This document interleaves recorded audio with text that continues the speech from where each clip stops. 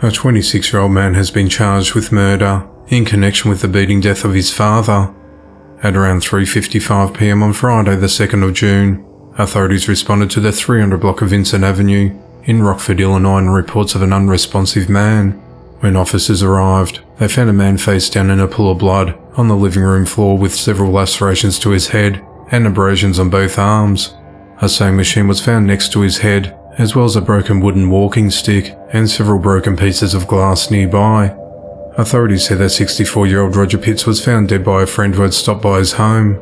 An autopsy determined that Roger died from blunt force trauma to his head. During the investigation, detectives identified Roger's son, 26 year old Devin Pitts, as the suspect.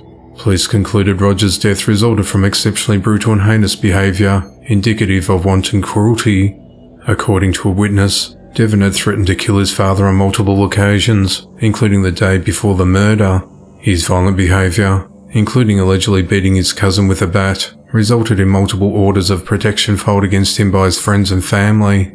On Monday the 5th of June, Devin was arrested after police tracked a phone call placed by him to a home on the 1300 block of Bond Avenue. A garbage bag containing bloodstained clothes was found inside the residence.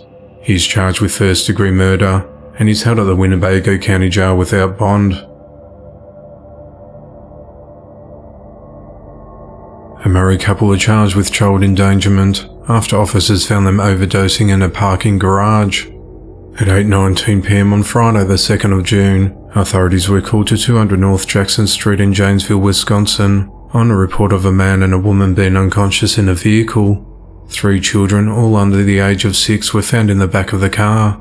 Police determined that 31 year old DeMarco Whitby and 26 year old Ricky Whitby had both operated the vehicle and used heroin, cocaine, and alcohol while driving with the children in the car.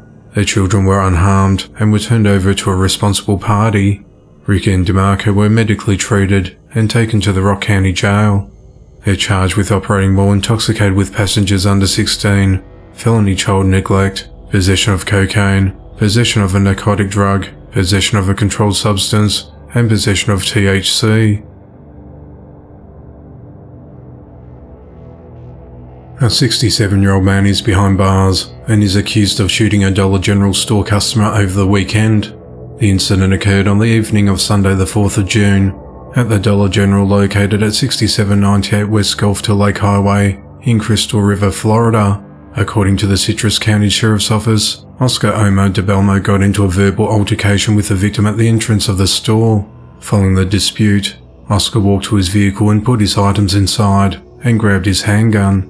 He then walked across the parking lot where he confronted the victim who was attempting to get into his car. Witnesses advised that they watched Oscar point the firearm at the victim and fire multiple times. No one saw the victim with a weapon. Investigators located six shell casings just feet from the victim's vehicle. The victim was shot a total of four times, twice in the abdominal area, once in the elbow, and a single round grazing the victim's side. The victim was rushed to a local hospital in a critical but stable condition. Oscar was arrested and charged with attempted murder, and is held at the Citrus County Jail without bond. An 83 year old man is behind bars and is accused of fatally shooting his 78 year old ex partner over a fight they had regarding her new relationship. At around 6.50pm on Saturday the 3rd of June, officers responded to a residence in the 8500 block of Seafield Lane in Rowlett, Texas on reports of an unconscious person. When officers arrived, they found Sharon Radabor who had been shot inside her home. She was pronounced dead at the scene. During the investigation, authorities learned that this was not a random act of violence, but rather an act that stemmed from a previous relationship. Police identified Wilson Elliott of Trinity, Texas as the primary suspect. At around 5.30pm the following day, Wilson was taken into custody. While questioned, Wilson allegedly confessed to detectives that he fatally shot Sharon after confrontation about a new relationship. Wilson is charged with murder and is held on a $1 million bond. 58 year old Susan Lawrence is behind bars for allegedly fatally shooting her neighbour 35-year-old Ajike's AJ Owens last week. Sheriff Billy Woods of the Marion County Sheriff's Office in Ocala, Florida, said that Ajike's was a 35-year-old mother of four, and the fatal shooting was a culmination of a two and a half year feud between the neighbours. According to the sheriff's office, evidence showed that over time, Susan had become angry over Ajike's children playing in the field close to her apartment. On the night of Friday, the 2nd of June, Susan got into an argument with the children and was overheard yelling at them by a neighbour. During the argument, Susan threw a roller skate at Ajike's 10 year old son and hit him in the toe. The boy and his 12 year old brother then went to speak to Susan and she opened her door and swung at them with an umbrella. They told their mother what happened and Ajike approached Susan's home, knocked on the door multiple times and demanded that Susan come outside. Susan then fired one shot through the apartment door, striking Ajike in her upper chest. At around 9pm that night, deputies initially responded to a trespassing court Susan's apartment, located in the 1600 block of Southwest 107th Lane in Ocala, Florida. When they arrived, they found Ajike suffering from a gunshot wound. She was taken to a local hospital where she later died. Authorities said that at the time she was shot, Ajike's 10-year-old son was standing beside her. When questioned by investigators, Susan claimed that she acted in self-defense and that Ajike was trying to break down a door. Susan said that Ajike had come after her in the past and had previously attacked her. Authorities said that through their investigation, which included obtaining witness statements, digital evidence, surveillance footage and forensic evidence, they were able to establish that Susan's actions were not justifiable under Florida law. On the night of the 6th of June, Susan was arrested and booked into the Marion County Jail. She's charged with manslaughter with a firearm, culpable negligence, battery and two counts of assault. If convicted on the manslaughter charge, Susan faces up to 30 years in prison. The investigation into the matter continues. A man has celebrated a record deal by burning money at a party over the weekend, got into an argument with a music manager who shot him multiple times, killing him. At 1.17am on Sunday the 4th of June, the victim, 32-year-old Jaron Smith, was found inside a Ford Mustang that crashed at the corner of Orange Avenue and Caroline Street in Daytona Beach, Florida.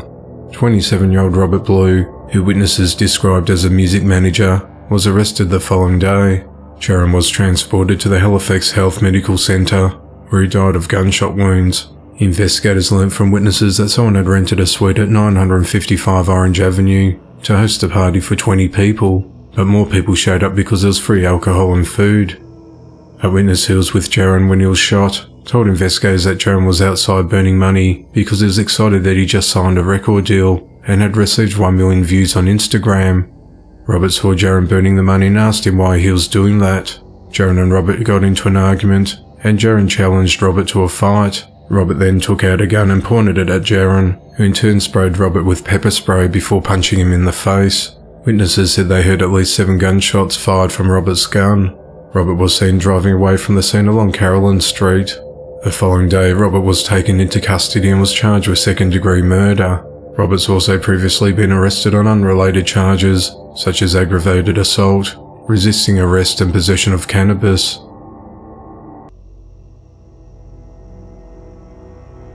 A 24 year old mother has been charged with the death of a 5 year old son. On the evening of the 23rd of January, Dereka Fleming put his son Lamar Tyrone Mitchell to bed in their apartment before going upstairs to visit a neighbor at the Saraville Apartments in the Clinton Township of Detroit, Michigan. While she was gone, the boy got out of bed and left the apartment.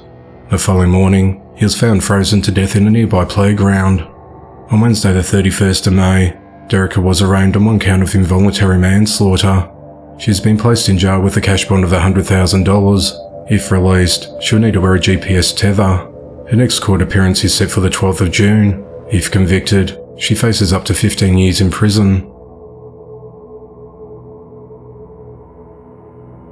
19-year-old Jose Contreras is behind bars after being accused of fatally shooting his girlfriend, 18-year-old Zoe Salinas.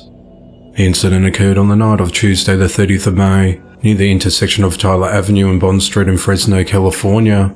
Investigators said the couple got into a heated argument in the car that led to the shooting. It's unclear what the argument was about.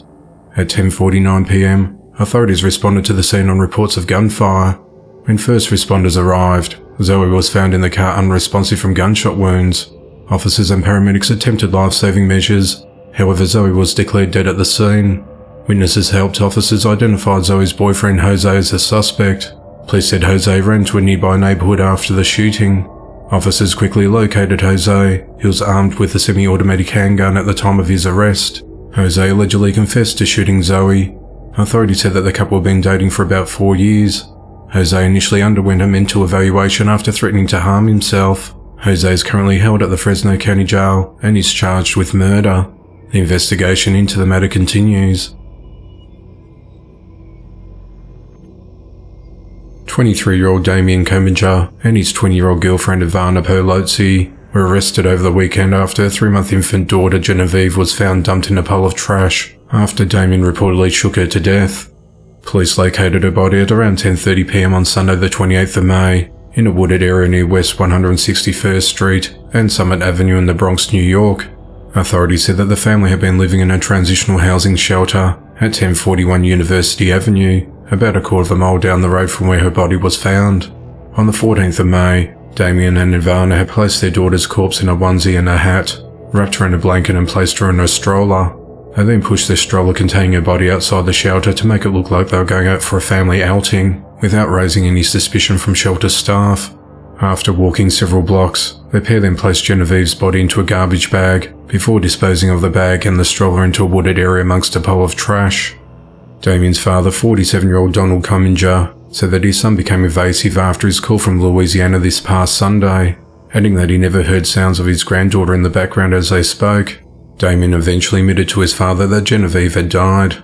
He told him that on the night of the 13th of May, Genevieve was screaming so shook her out of frustration. He said he then went to sleep because he was tired. He said that when he woke up, Genevieve was stiff and cold and not breathing.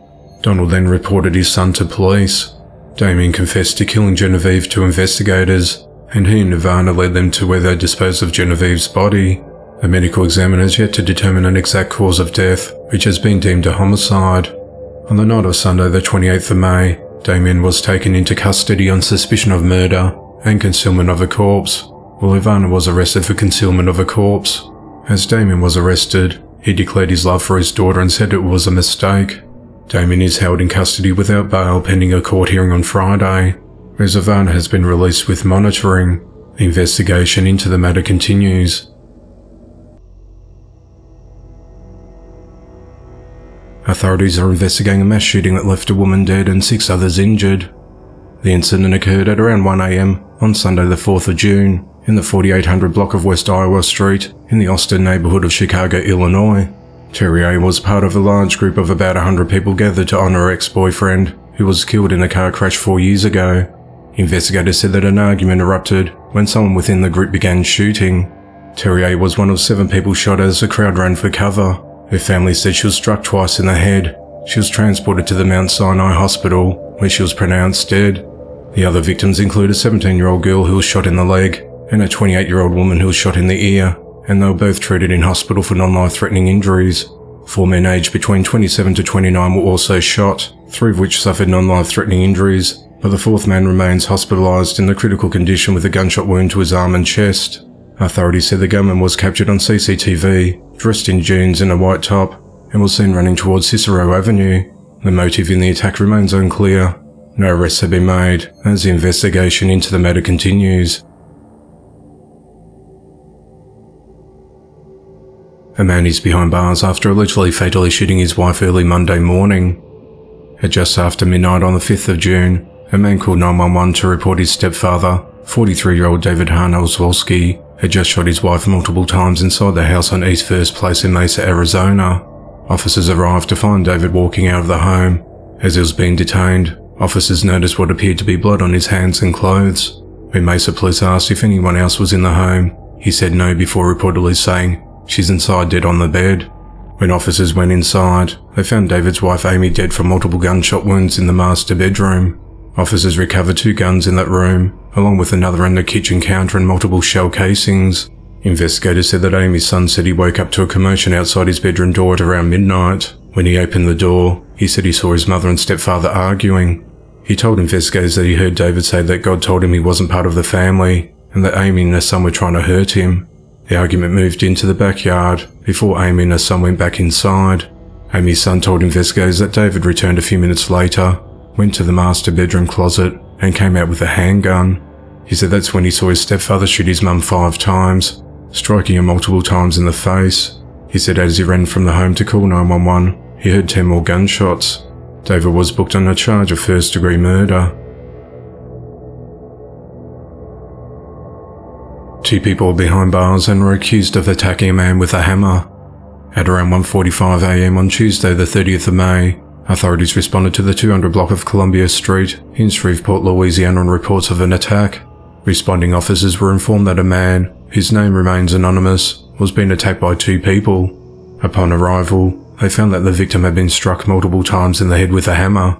He was transported to a local hospital with severe injuries, but is expected to survive.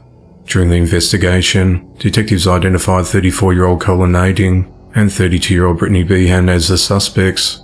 On Friday the 2nd of June, they were arrested and charged with aggravated battery. Authorities have not discussed a motive in the attack as the investigation into the matter continues. Authorities are investigating after a 34-year-old man was fatally shot over the weekend.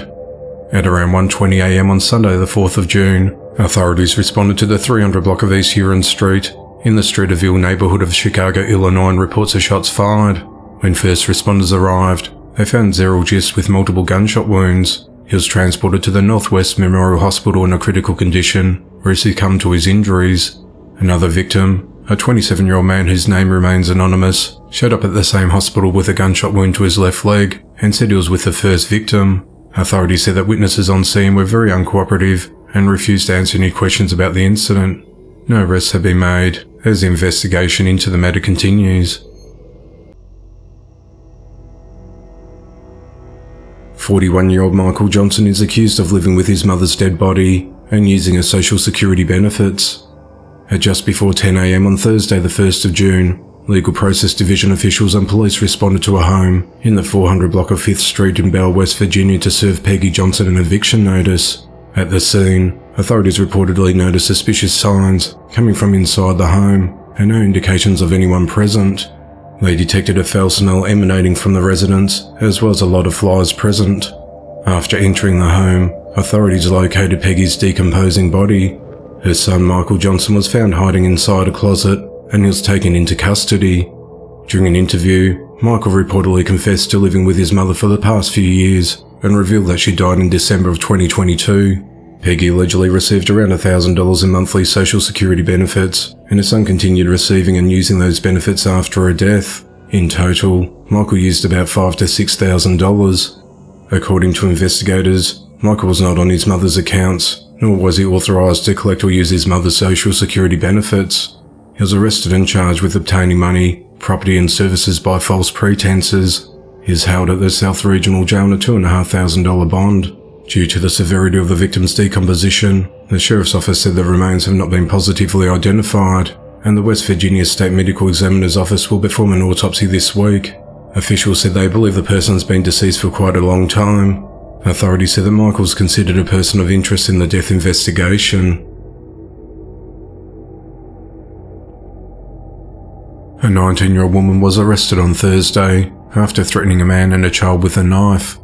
Bricia Malin Marina de Leon was charged with two counts of aggravated assault with a deadly weapon, battery, and child neglect.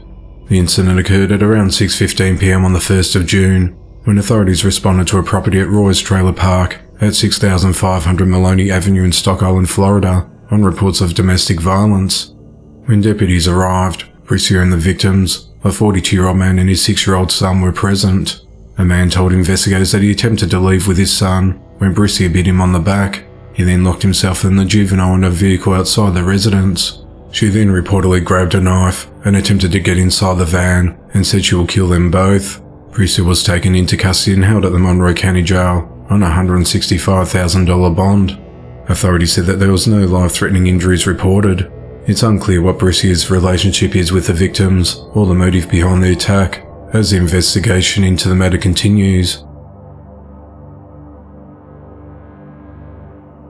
A 26 year old man is behind bars on three felony counts of battery against healthcare workers.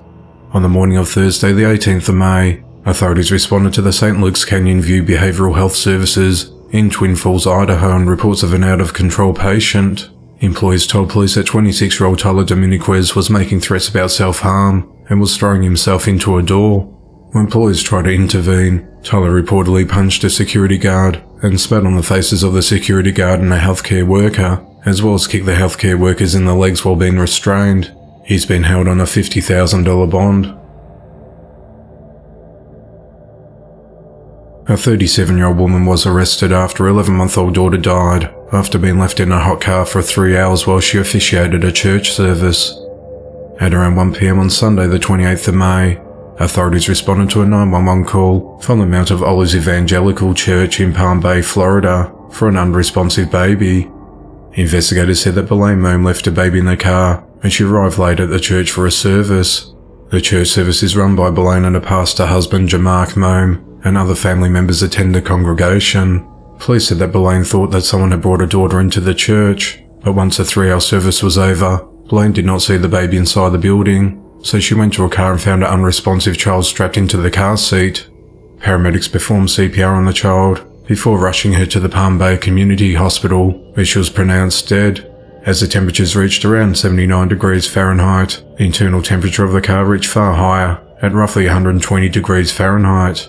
On Thursday, the 1st of June, Belaine was arrested and booked into the Brevard County Jail and is charged with aggravated manslaughter of a child. She was released the next day after posting a $15,000 bond. The investigation into the matter continues.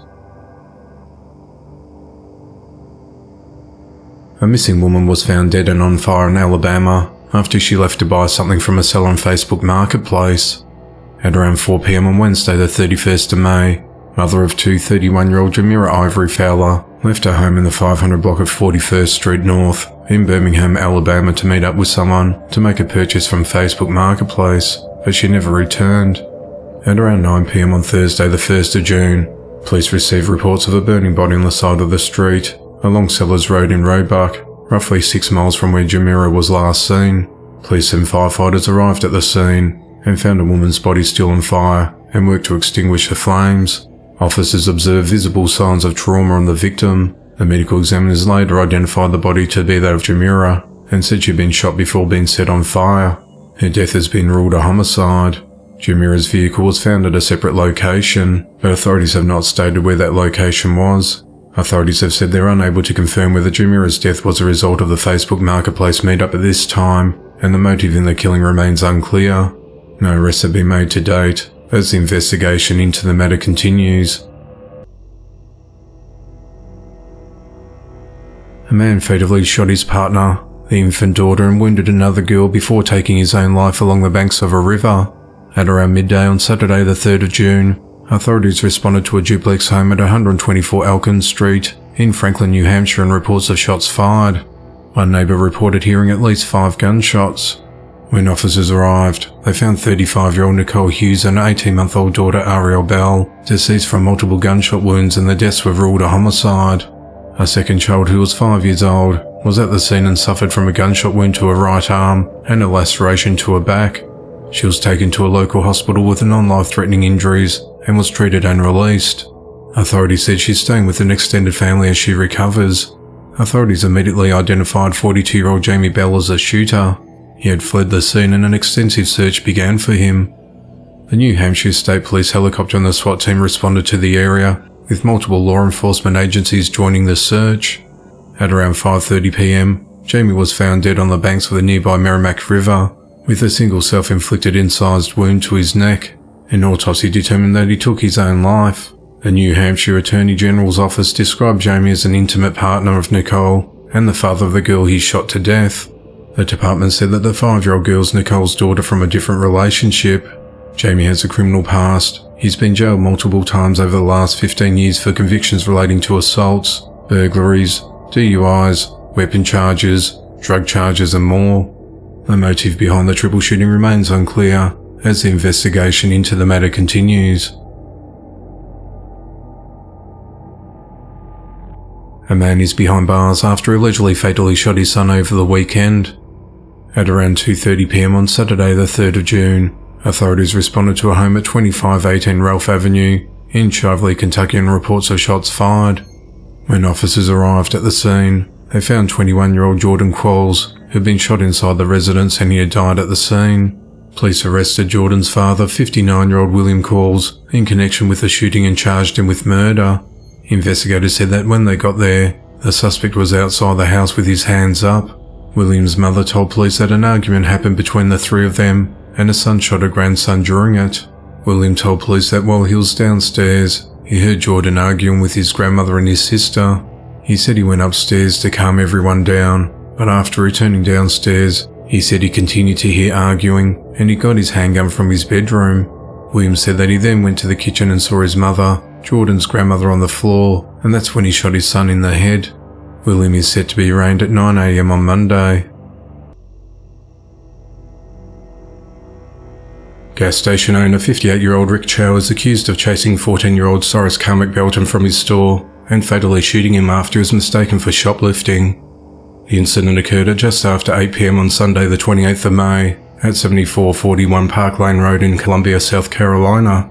Rick believed the teen stole four bottles of water from his Express Smart Shell station, but authorities say the boy put the bottles back in the cooler. Following a verbal confrontation, he exited the business and ran away.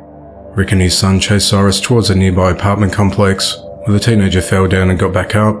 Rick's son told his dad that Cyrus had a gun, when the store owner fatally shot Cyrus once in the back, piercing his heart.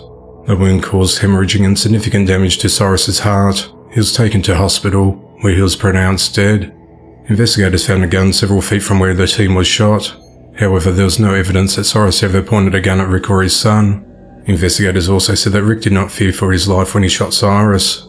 Richland County Sheriff Leon Lott said they have reviewed surveillance footage as part of the investigation. He said that there was no evidence that Cyrus stole anything whatsoever. Regardless, even if he had shoplifted four bottles of water, which is what he initially took out of the cooler and then put them back, even if he'd done that, that's not something you shoot anybody over, much less a 14 year old. But you just don't do that, he said. Richland County Coroner Naida Rutherford said there was no sign Cyrus fought Rick before he ran out of the store, and added that there was no injury to his body other than the abrasion from falling and the gunshot wound to his right lower back. On Monday, the 29th of May, Rick was arrested and charged with murder. He's held at the Alvin. Glenn Detention Centre, and bond has been denied. Hours later, rioters gathered at the gas station and vandalised the business and stole items from the store. The sheriff said that those who took part will be held responsible. The investigation into the matter continues. 34-year-old Zara Ferrer-Urolo is behind bars following a fatal shooting on Thursday night. At around 7.30pm on the 25th of May, authorities responded to an apartment at 9610 Arrow Ridge Drive in Louisville, Kentucky on reports of a shooting. When officers arrived, they found a man inside the bedroom with a gunshot wound to the head. Medics pronounced him dead at the scene. He was identified as 66-year-old Jason Strongbringer, Investigators said that Jason reportedly hit Zara in the head with a wrapping paper roll during a verbal altercation. Upset, Zara then retrieved a handgun and shot the man in the head. Zara allegedly admitted to the crime and was arrested and charged with murder. Zara is held at the Louisville Metropolitan Department of Corrections with bond set at $250,000. The investigation into the matter continues. A man is behind bars and is accused of fatally shooting another man inside a motel room. At just after 10.30pm on Wednesday the 24th of May, authorities responded to the Budget Motor Inn at 2151 North Jamestown Drive in Petersburg, Virginia on reports of an unresponsive man. When officers arrived, they found 54-year-old Brian Chambers with a gunshot wound and he was pronounced dead at the scene. During the investigation, authorities identified Raymond Ruffin, whose age has not been disclosed as the suspect. On Wednesday, the 31st of May, he was arrested and charged with second degree murder, use of a firearm, and possession of a firearm by a known felon. Brian, who was a travelling tattoo artist and painter, was well known to the Petersburg community. He was the owner of Bad Monkey Tattoo and went by the name of B Train. Friends and clients remember Brian as a talented painter who loved to show off his art. Donna Guernsey said, I just couldn't believe it. He was so full of life. He was amazingly talented. He came to us and he was awesome. She said he had been to her house just days before his death, and she showed off a new tattoo he did for her. Authorities have not disclosed the motive in the killing, as investigation into the matter continues. A man and a woman are accused of beating a Sonic manager after incorrectly receiving jalapenos on a hot dog over the weekend. At around 7.30pm on Saturday the 27th of May, Quantaria Simmons and Andres Briscoe arrived at the fast food restaurant at 81st Street and Lewis Avenue in Tulsa, Oklahoma with two other people and ordered a hot dog with a side of jalapeno poppers at the drive-through. A group, however, received a hot dog with jalapenos on it, triggering an argument between them and the Sonic employees. The manager stepped in to try and defuse the situation, only for Quantoris to get out of the vehicle and attempt to enter the closed-off section of the restaurant. When the manager tried to stop him, Quantoris dragged the man outside and began beating him, punching him repeatedly, and body slamming him to the ground. Andreas got out of the vehicle and joined in the fight, after still being upset at the order. Andreas then threw punches, but ended up hitting Quantoris more than she hit the manager. The manager was hospitalized with several injuries. The suspects were tracked down to the Red River apartment complex in Riverside, where they were arrested for aggravated assault and battery.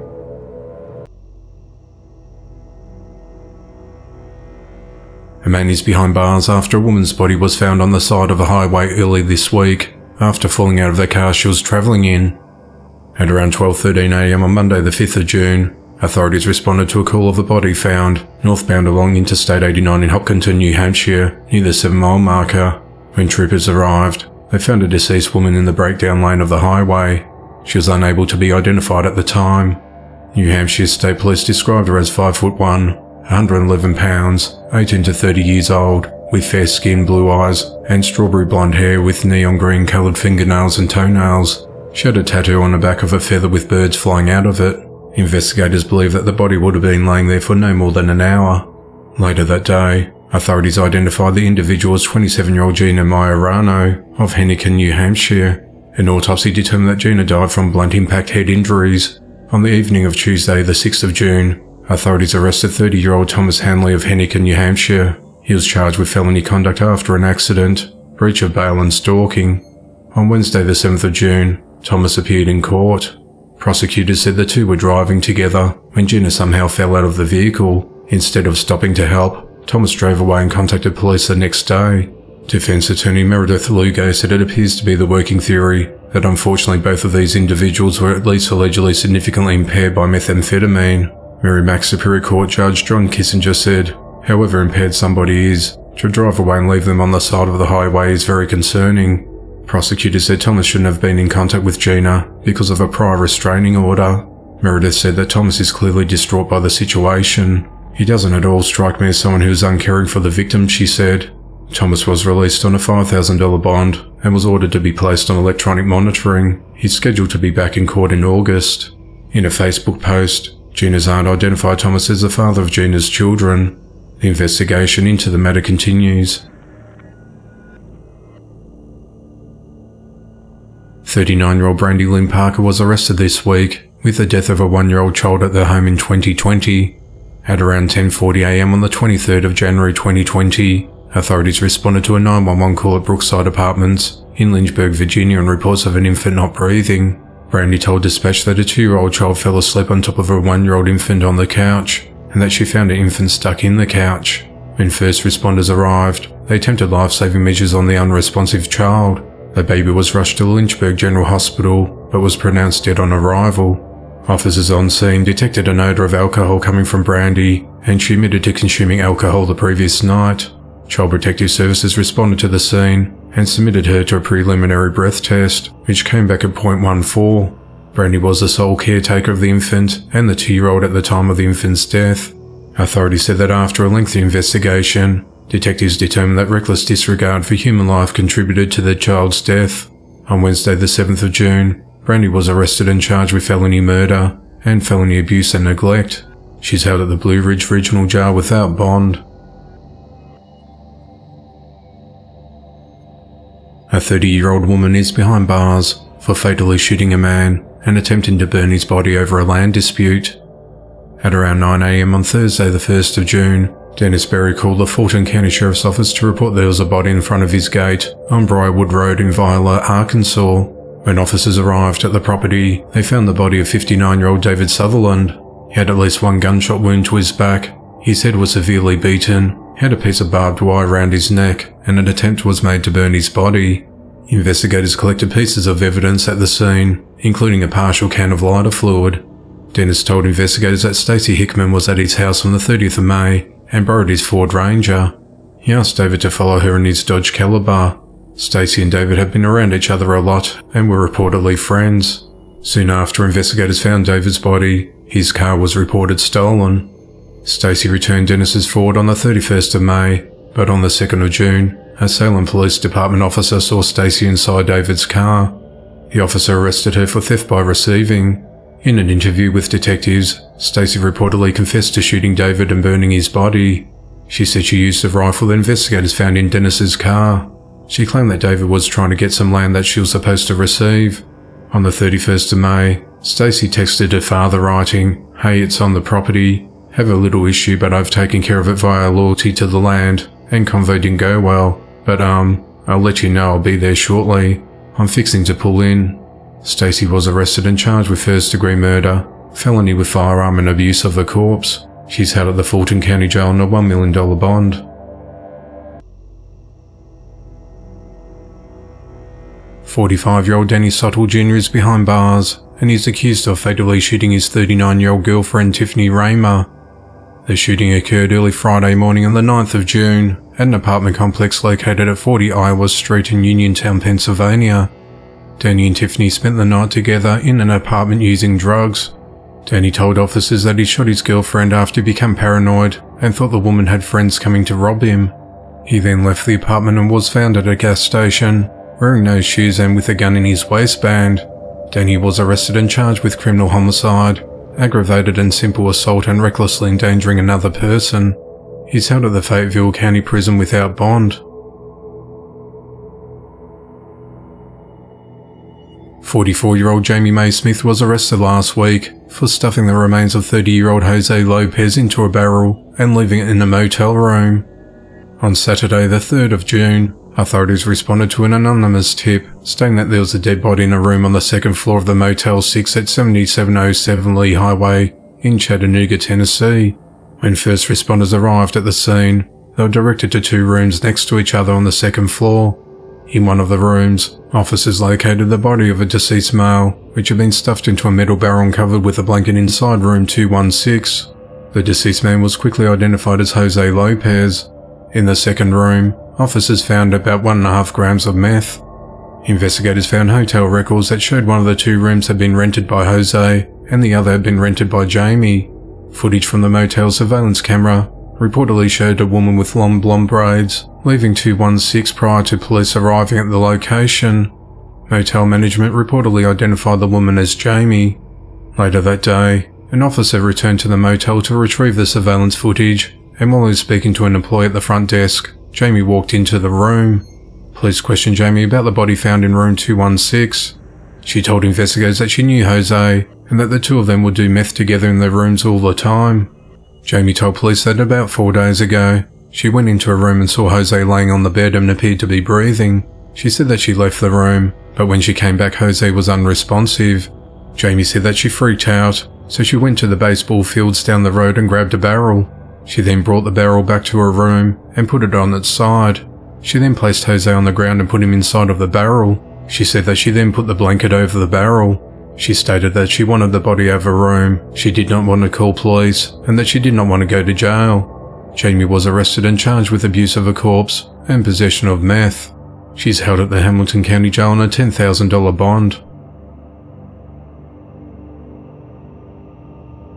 A 34 year old man is behind bars for allegedly drowning his 56 year old mother. At 8.25am on Monday the 5th of June, Eric Megan called 911 to say he drowned his mother Victoria Palmer in the Still River at Harrybrooke Park in New Milford, Connecticut.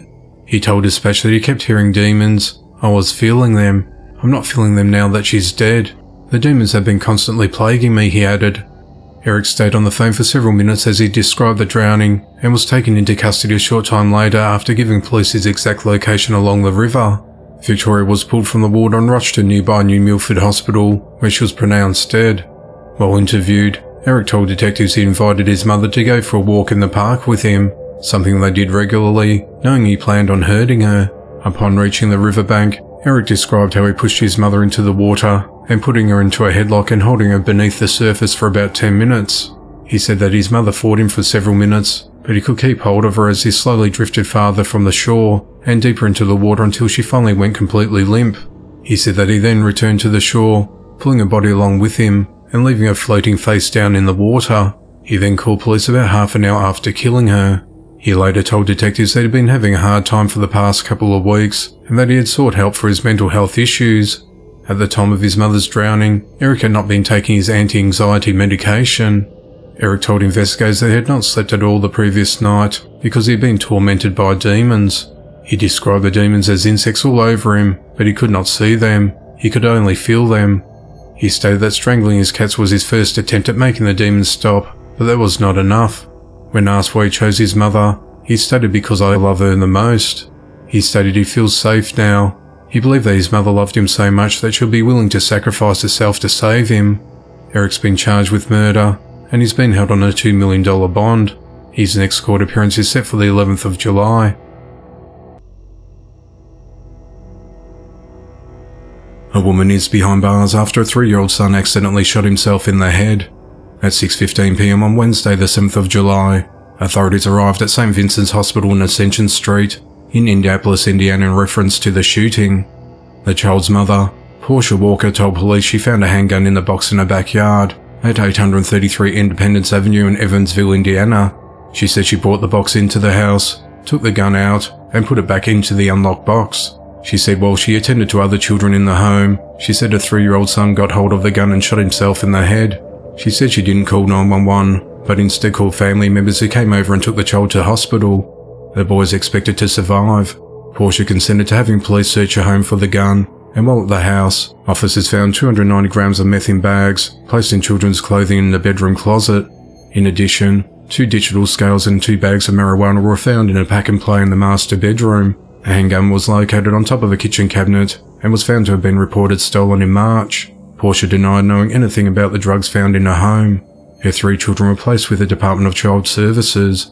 Portia is charged with negligence of a dependent, meth dealing and theft of a firearm. She remains held at the Vanderburgh County Jail. A funeral homeowner is behind bars after allegedly fatally shooting a 30-year-old man and wounding a woman at a young girl's funeral. At 1.20pm on Tuesday the 6th of June, authorities responded to reports of shots fired at the Washington National Cemetery, located at 4101 Suitland Road in Suitland, Maryland. When officers arrived, they found Ronald Stephen Banks injured from a gunshot wound and another victim with a graze wound.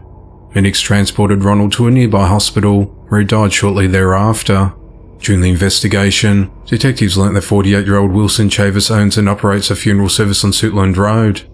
He allegedly confronted two other people affiliated with another funeral company with which Wilson has a long-standing business dispute, just as a burial service was preparing to get underway.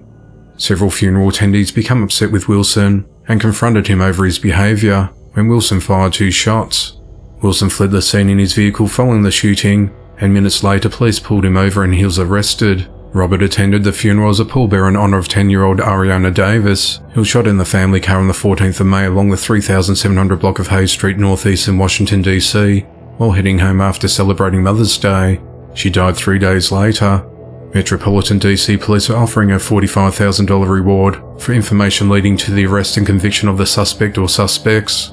Wilson is charged with murder, attempted murder and other related charges. Ariana's mother Antoinette Belk said, I'm so traumatized what's happened at my daughter's burial site. I didn't even get to lay her down, even put her in the ground. And another incident happened. This is so traumatizing to me. My children, my whole family. It's trauma after trauma, she said.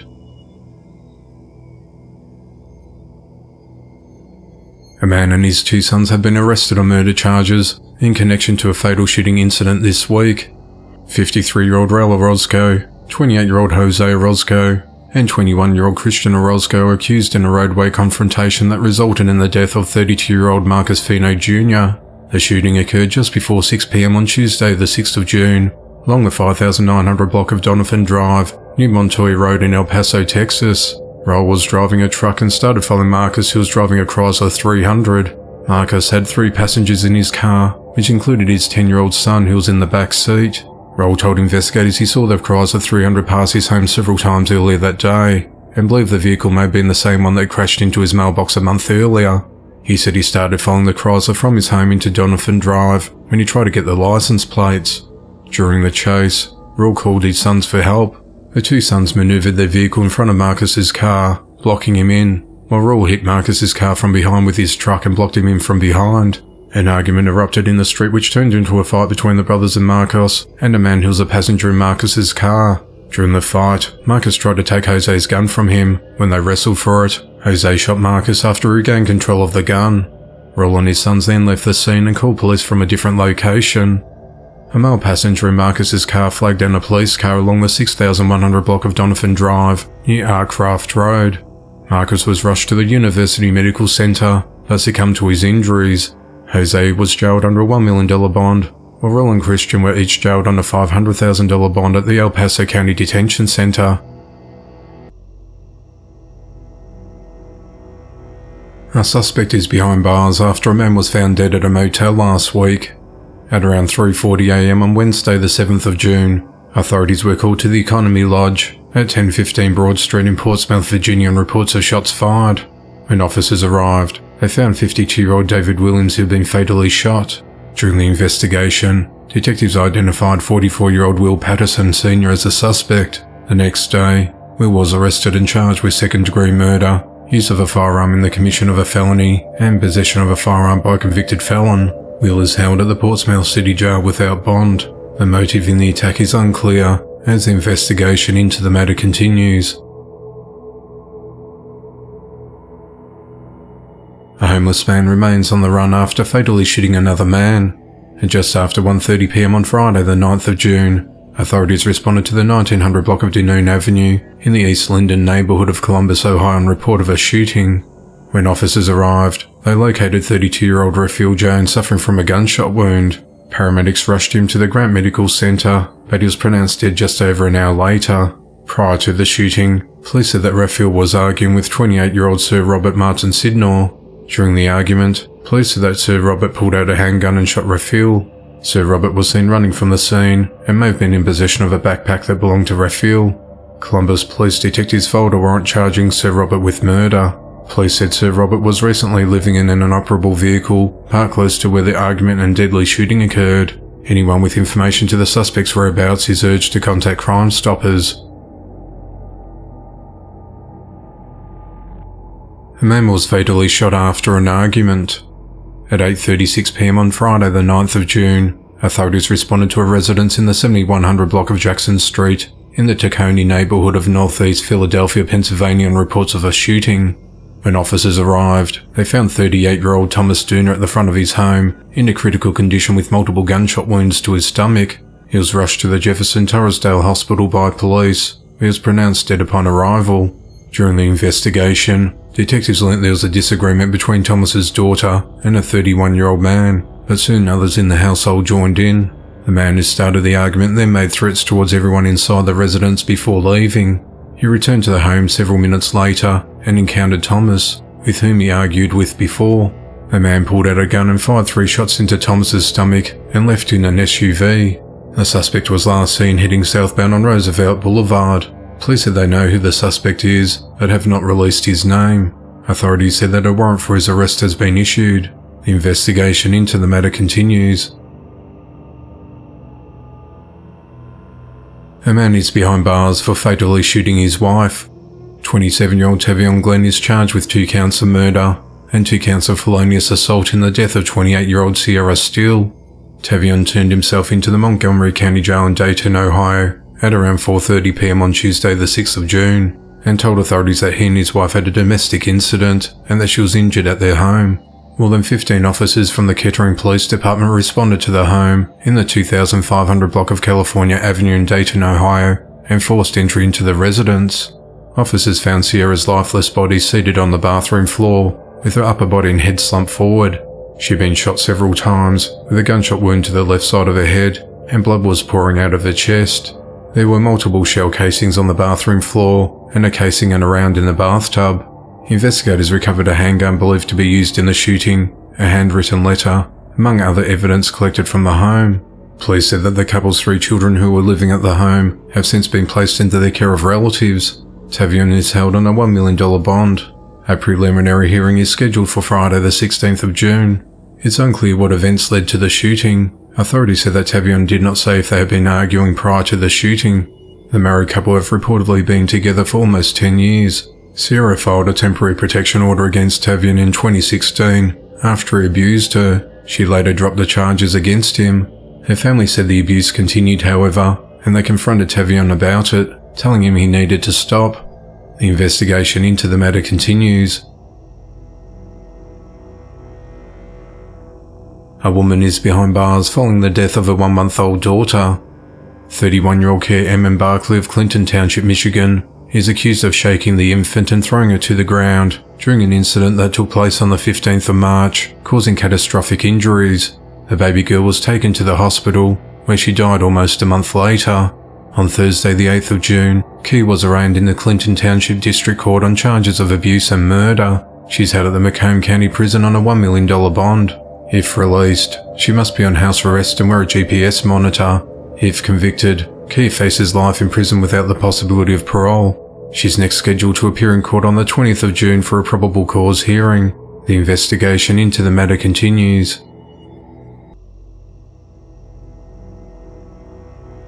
A woman is behind bars after fatally stabbing her ex-boyfriend over the weekend. At 3.03am on Saturday the 10th of June, Authorities responded to a home at 4587 Mountain Tabor Road in Red Springs, North Carolina on reports of a person stabbed.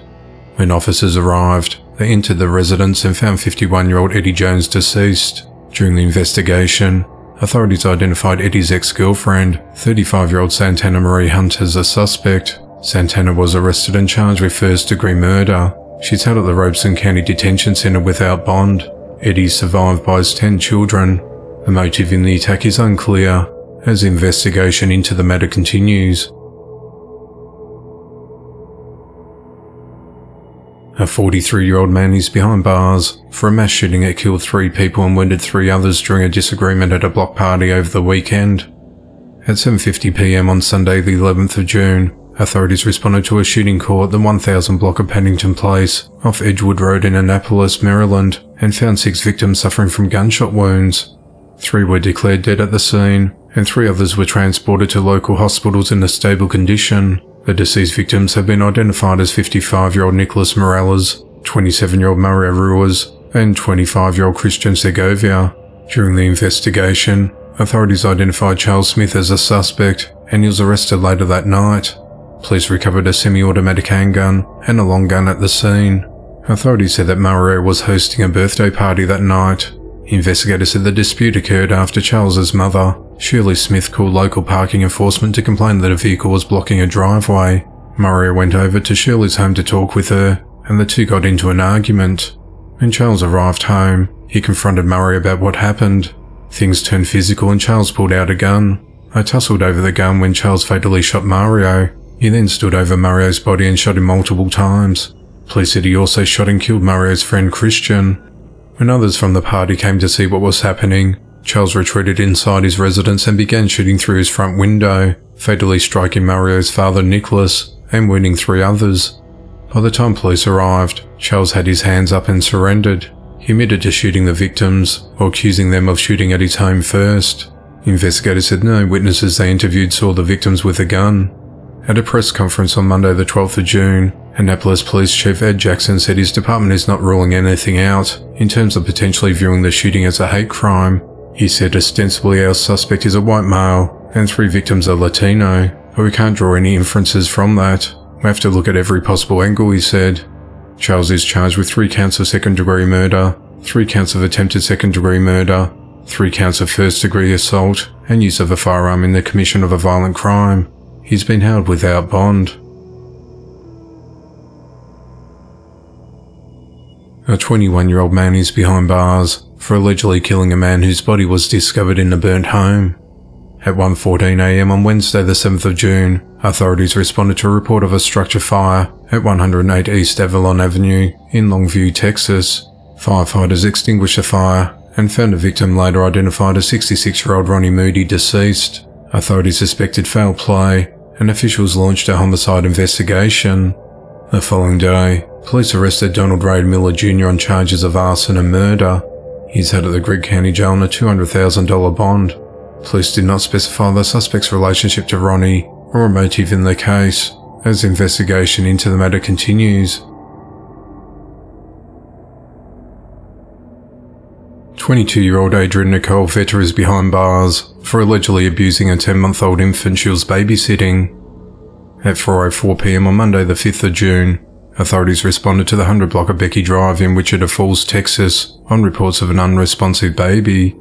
Medics transported the infant to United Regional Hospital, where it was discovered the child had two brain bleeds. The child was immediately airlifted to Cook Children's Medical Center in Fort Worth for emergency medical treatment.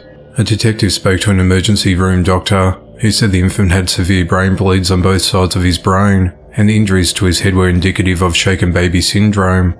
That same day, Adrian was interviewed by detectives.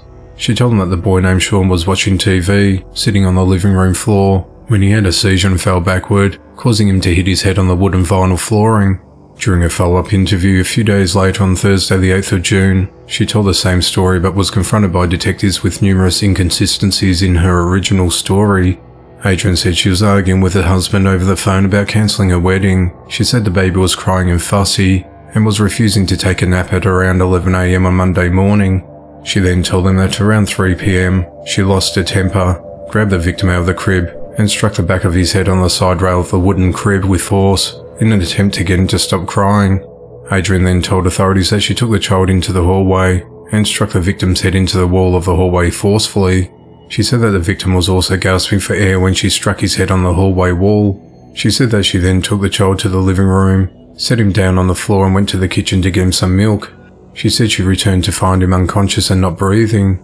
She told officers she had mental health disorders, but claims that she takes medication for the disorders a forensic paediatrician at the Children's Hospital told police that she believes that Adrian was downplaying what happened. She said that she believes that Adrian forcefully struck the victim's head on the crib and wall several times, not only one time each as Adrian claimed. The child suffered seizures due to severe abusive head trauma and injuries to his spine, including severe sprain and fracture to the upper part of his neck. The baby's in a very critical condition, and it's unclear whether he'll survive. Detectives later spoke to the victim's mother, Felicity Dishman, who said that Adrian told her the same story about what had happened as she told investigators. She said Adrian had been watching a 10 month old son for two weeks, and that Adrian has a temper, but she's never seen her take it out on children, just her own dogs. On Friday, the 9th of June, Adrian was arrested and booked into the Wichita County Jail. She's charged with injury to a child and is held on a $1 million bond.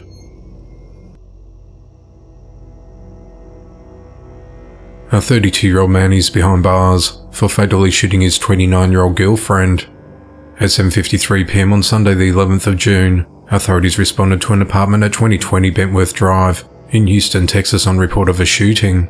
When first responders arrived, they went inside the apartment and found Jasmine McHenry with multiple gunshot wounds. Paramedics pronounced her dead at the scene. During the investigation, detectives identified Thomas Wilson Alexander as a suspect, and he was arrested. Authorities said that the couple got into a verbal altercation when Thomas pulled out a gun. Concerned for her safety, Jasmine then told her nine-year-old daughter Zaria to call her grandmother Cynthia Demerson. The girl called her grandmother when Cynthia heard Jasmine say that Thomas was going to shoot her, so she rushed over to the apartment. While she was on her way, Thomas fatally shot Jasmine three times. Two of the times she was shot in the head at close range in front of Azaria, as well as the couple's son, three-year-old Aiden Alexander. Jasmine's family said that the couple had been together for about three years. Cynthia said she has no idea why Thomas shot and killed her daughter, and says she wants to know why he did it. Cynthia said she'll now raise her two grandchildren. Thomas is charged with murder, and he's been held at the Harris County Jail on a $1 million bond. The investigation into the matter continues. A 43 year old mother is accused of fatally shooting her 27 year old son after they got into an argument about a ride on mower. On Wednesday, the 31st of May, authorities responded to a residence along the 100 block of Stonewood Road in Glencoe, Arkansas after Tabitha Pebler rang 911 to report that she shot her son Brandon Crisco. When deputies arrived, Brandon was pronounced dead at the scene. When questioned, Tabitha told detectives that she was mowing a lawn on a ride-on mower and got stuck. She said she asked Brandon to help get the mower unstuck, but her son was upset to help her to get the mower unstuck. After becoming stuck a second time, Brandon called her a bitch and shoved her off the lawnmower. She said her car was about 250 yards away and that she and Brandon both made their way to the vehicle, but she took the short way while he took the long way. She said she retrieved a pistol from the center console and fired several warning shots at her son while moving toward him as he was approaching. She said she moved in closer and fired another shot, striking her son in the upper left side of his chest and through his body, killing him. She said she did not mean to kill him and that it was supposed to be a warning shot, which was meant to scare him into stopping. Crime scene evidence showed that Tabitha moved 18 feet toward Brandon after getting the gun and firing, and then another 42 feet towards him before shooting the final shot. She was less than 20 feet away when she shot him. On Monday the 5th of June, Tabitha was arrested and charged with second degree murder and was released after posting a $25,000 bond. The investigation into the matter continues. A 21 year old man is behind bars for fatally shooting a 31 year old man during an argument. At around 3.30am on Monday the 12th of June, authorities responded to the Aloha Backyard Bar located at 3125 South Bryant Avenue in Oklahoma City, Oklahoma on reports of a shooting. When officers arrived, they found 31-year-old Justin Smith lifeless with multiple gunshot wounds. Investigators said that it appears that he and 21-year-old Jonathan Thomas were involved in an argument with one another which resulted in Jonathan shooting Justin. Police said Jonathan remained on scene and was arrested. He's been charged with first degree murder and he's held at the Oklahoma County Jail without bond. It's unclear what the argument was about. Justin is survived by his two children aged 5 and 10. The investigation into the matter continues. Authorities are investigating after a 24-year-old man was found fatally shot. At 10.04am on Tuesday the 13th of June, police responded to a home at 1242 Western Street in North Augusta, South Carolina on reports of shots fired. When officers arrived, they found Carnell Nillis III deceased in an open doorway of his home with gunshot wounds. Investigators said that a white or grey hatchback was seen leaving the scene in a hurry after the shooting. Authorities have not made any arrests to date, and are urging anyone with information to contact Crime Stoppers. Carnell has previously been arrested in 2017 for firearm trespass, assault and battery offences. The investigation into the matter continues. 21-year-old Chloe Wisniewski was arrested last week after a pitbull puppy gnawed on the infant's hand while she was in the shower, biting off five of her fingers early this year. On the morning of the 14th of February, Chloe left her baby daughter in the same room as a three-month-old puppy that was brought into a home at 23399 Abrad Avenue in Port Charlotte, Florida less than 24 hours earlier. Chloe told investigators that she was feeling ill and put the little girl in the bassinet before heading to the bathroom. She said she turned on the shower and turned it off again when she heard the baby girl scream. She came running out of the bathroom and saw the dog laying in the bassinet with the child, chewing on the baby's hands. Chloe told police there was so much blood that she couldn't look at her daughter's fingers. She wrapped the baby's hands in cloth and called 911, and the infant was rushed to hospital. Doctors had no choice but to fully amputate three fingers on the child's left hand and partially amputate two fingers on the right hand. On Friday, the 16th of June, after a four-month investigation, authorities arrested and charged Chloe with child neglect. Investigators said the mother kept changing stories as to why she left the baby alone with the pit bull. She was held at the Charlotte County Jail but was released on Monday the 19th of June after posting a $7,500 bond. As the baby recovers with family members, Chloe was granted supervised visitation. A puppy named Apollo was quarantined as part of the protocol following a bite. He passed the quarantine and was transferred to the Animal Welfare League.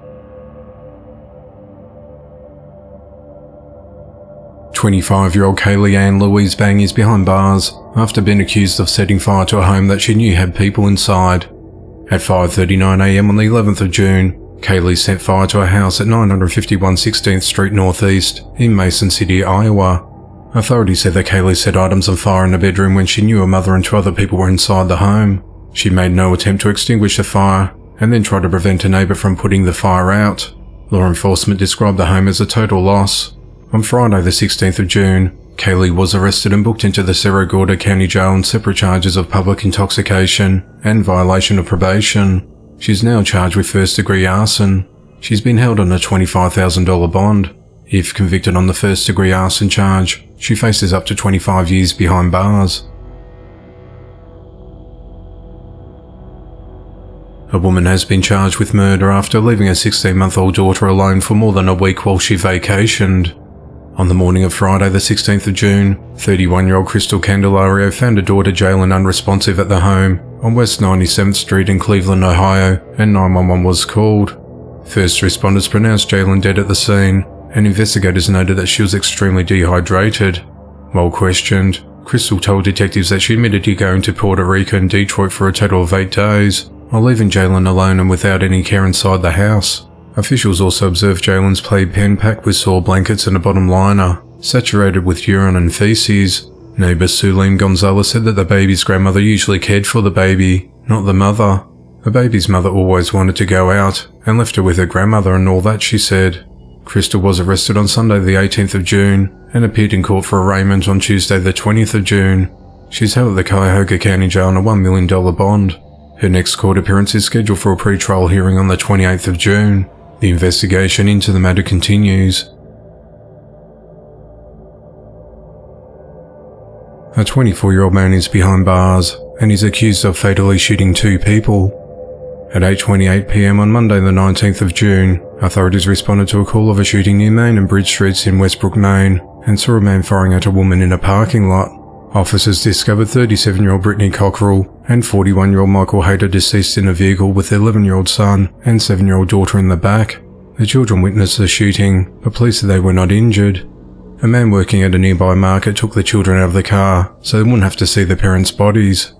The suspect, 24-year-old Marcel LaGrange Jr., ran from the scene and physically assaulted a bystander while fleeing. Authorities identified that victim as 75-year-old Fred Rourke and said he went to hospital with minor injuries.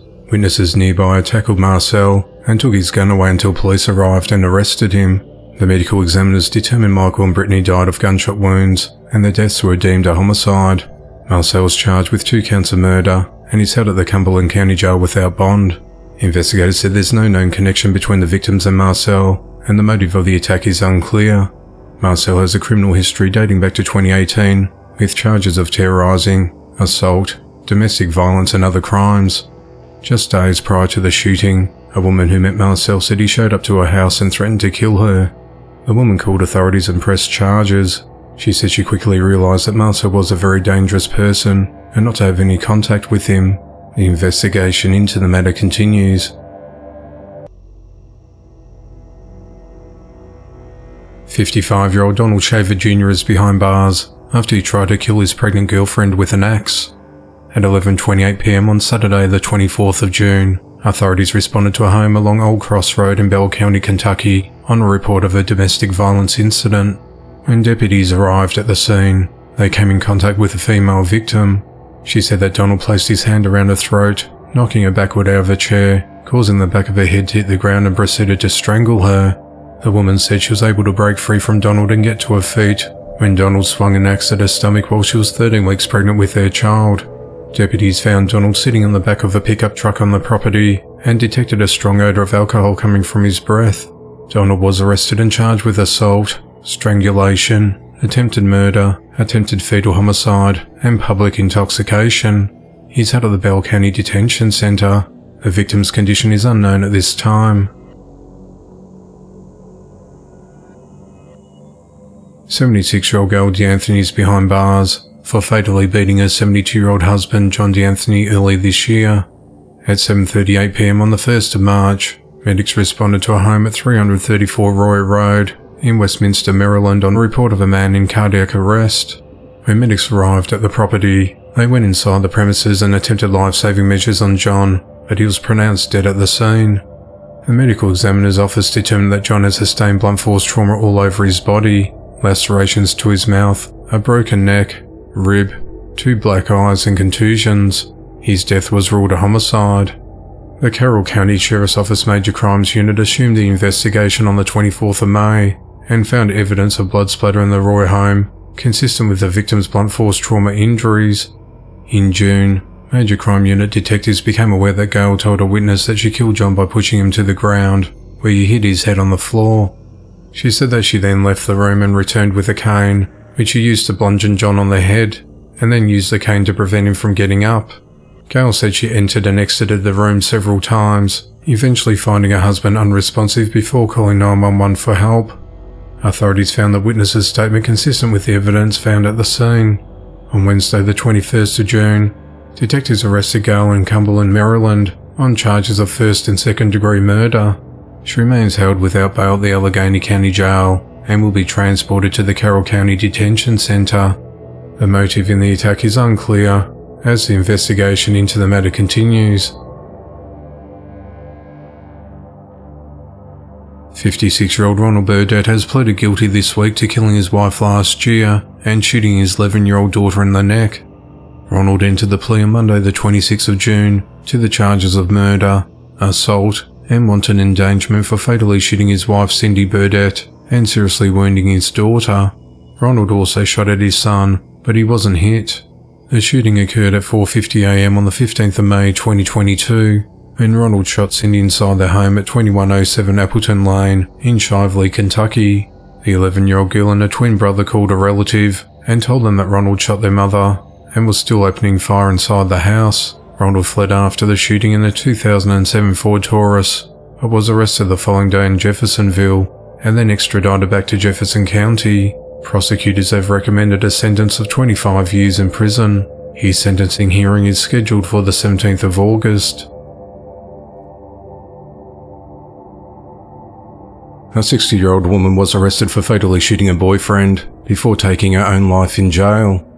At around 12.40pm on Thursday the 22nd of June, authorities were called to a residence in the 3000 block of Appaloosa Drive in Lake Havasu City, Arizona on report of a shooting. The caller, later identified as Julia Pete, told dispatch that she had shot a man in her home. When officers arrived at the scene, they found 69-year-old Mark Corbett, deceased with multiple gunshot wounds. Julia told detectives that she was dating the man and became fearful of her safety after learning of some alleged criminal history involving the man. Upon further investigation, detectives determined that the man had not threatened Julia, nor had he attempted to harm her at the time of the shooting. Julia was arrested and charged with first degree homicide, and she was booked into the Mohave County Adult Detention Center. On Friday the 23rd of June, her bond was set at $1 million. At 2.34pm on Sunday the 25th of June, Julie was found unresponsive in a cell, with clothing tied around her neck.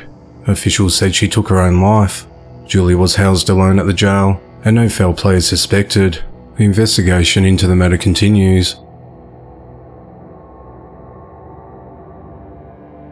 A couple behind bars in connection with the death of their 8-month-old infant son, who died of an overdose last year. On the morning of the 15th of November, medics responded to a home in the 1600 block of Broadmoor Circle in Boulder City, Nevada, on report of an unresponsive baby. When first responders arrived at the scene, they attempted life-saving measures before transporting the child to St. Rose Siena Hospital, where the infant was pronounced dead at 9.31am. The Clark County Coroner's Office determined the child died as a result of fentanyl toxicity, and he had suffered recent meth exposure. Police spoke with the child's parents, 36-year-old Jeffrey Terakami and 31-year-old Kara Dugan, who both said the child had been exposed to meth and fentanyl after Jeffrey spilled a bag mixed with the drugs on their bed. The child then allegedly crawled onto the bed following the spill. On the 16th of June, the couple were booked into the Clark County Detention Center, charged with second degree murder. Their bond has been set at $20,000 each. A 53 year old man is behind bars after leaving his five grandchildren home alone all day without food or air conditioning during a very hot day. At 3.54am on Monday the 19th of June, Authorities performed a welfare check at a home along the 17,400 block of Rolling Creek Drive in Houston, Texas. Investigators said they discovered that Kevin Turner left five children, aged between 9 and 16 years old, in the home without food, air conditioning and adult supervision on a day with very high temperatures of over 98 degrees Fahrenheit. Harris County Precinct 4 Constable Mark Herman said, a couple of them went to a local food store and were caught stealing food inside the store. He said that the children were forbidden from running the air conditioning unless their grandfather was there, and the house was infested with roaches and was just trashy inside, he said. The children were home alone for 24 hours before officials arrived and transported them to a local hospital for treatment. Following medical treatment, Child Protective Services took custody of the children. Authorities said that Kevin is the children's grandfather, but had custody of his daughter's children. During the investigation, Kevin showed up at the house and deputies took him into custody. He was booked into the Harris County Jail on a charge of child abandonment, and his bond was set at $10,000. Authorities said that further charges are possible as the investigation into the matter continues. Authorities are investigating after a 39 year old woman was found fatally shot inside her Long Island home on Monday night. At 9.41pm on the 19th of June, authorities responded to apartment number 380 along 117 Hawthorne Avenue in central Islip, New York, after a family member reported finding Shayna Staton unresponsive. Authorities said she was found stuck between a bed and the wall, with several gunshot wounds throughout her body, and she was pronounced dead at the scene.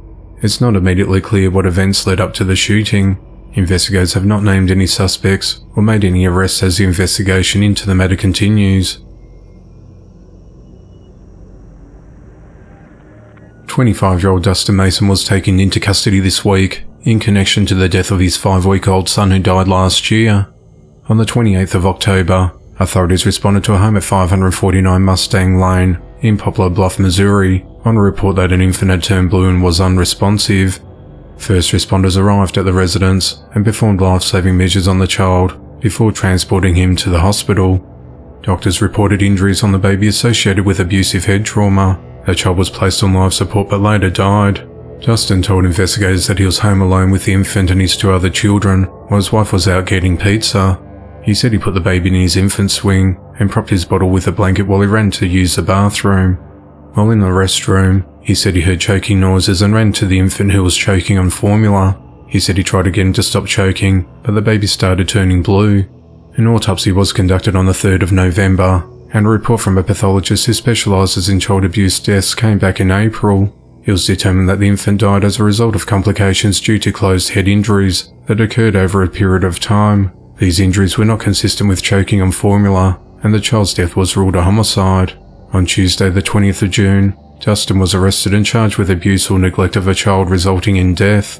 He's out at the Butler County Jail without bond. 47-year-old Kelly Watford and 52-year-old Mark Watford were arrested last week after their malnourished 6-year-old son drowned inside their home.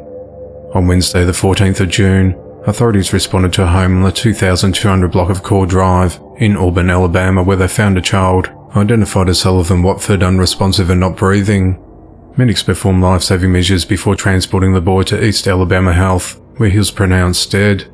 Upon further investigation, police learned of suspicious circumstances surrounding Sullivan's death and collected evidence that signaled to a possible drowning. Investigators said that Sullivan weighed 21 pounds and appeared to be extremely malnourished at the time of his death. Due to his low weight, authorities said it was unlikely Sullivan was able to walk or sit up on his own. Additional evidence was discovered that showed the child had sustained prolonged willful abuse and maltreatment. Kelly told investigators that she gave her son vapor rub to treat his cough, but she never used that kind before.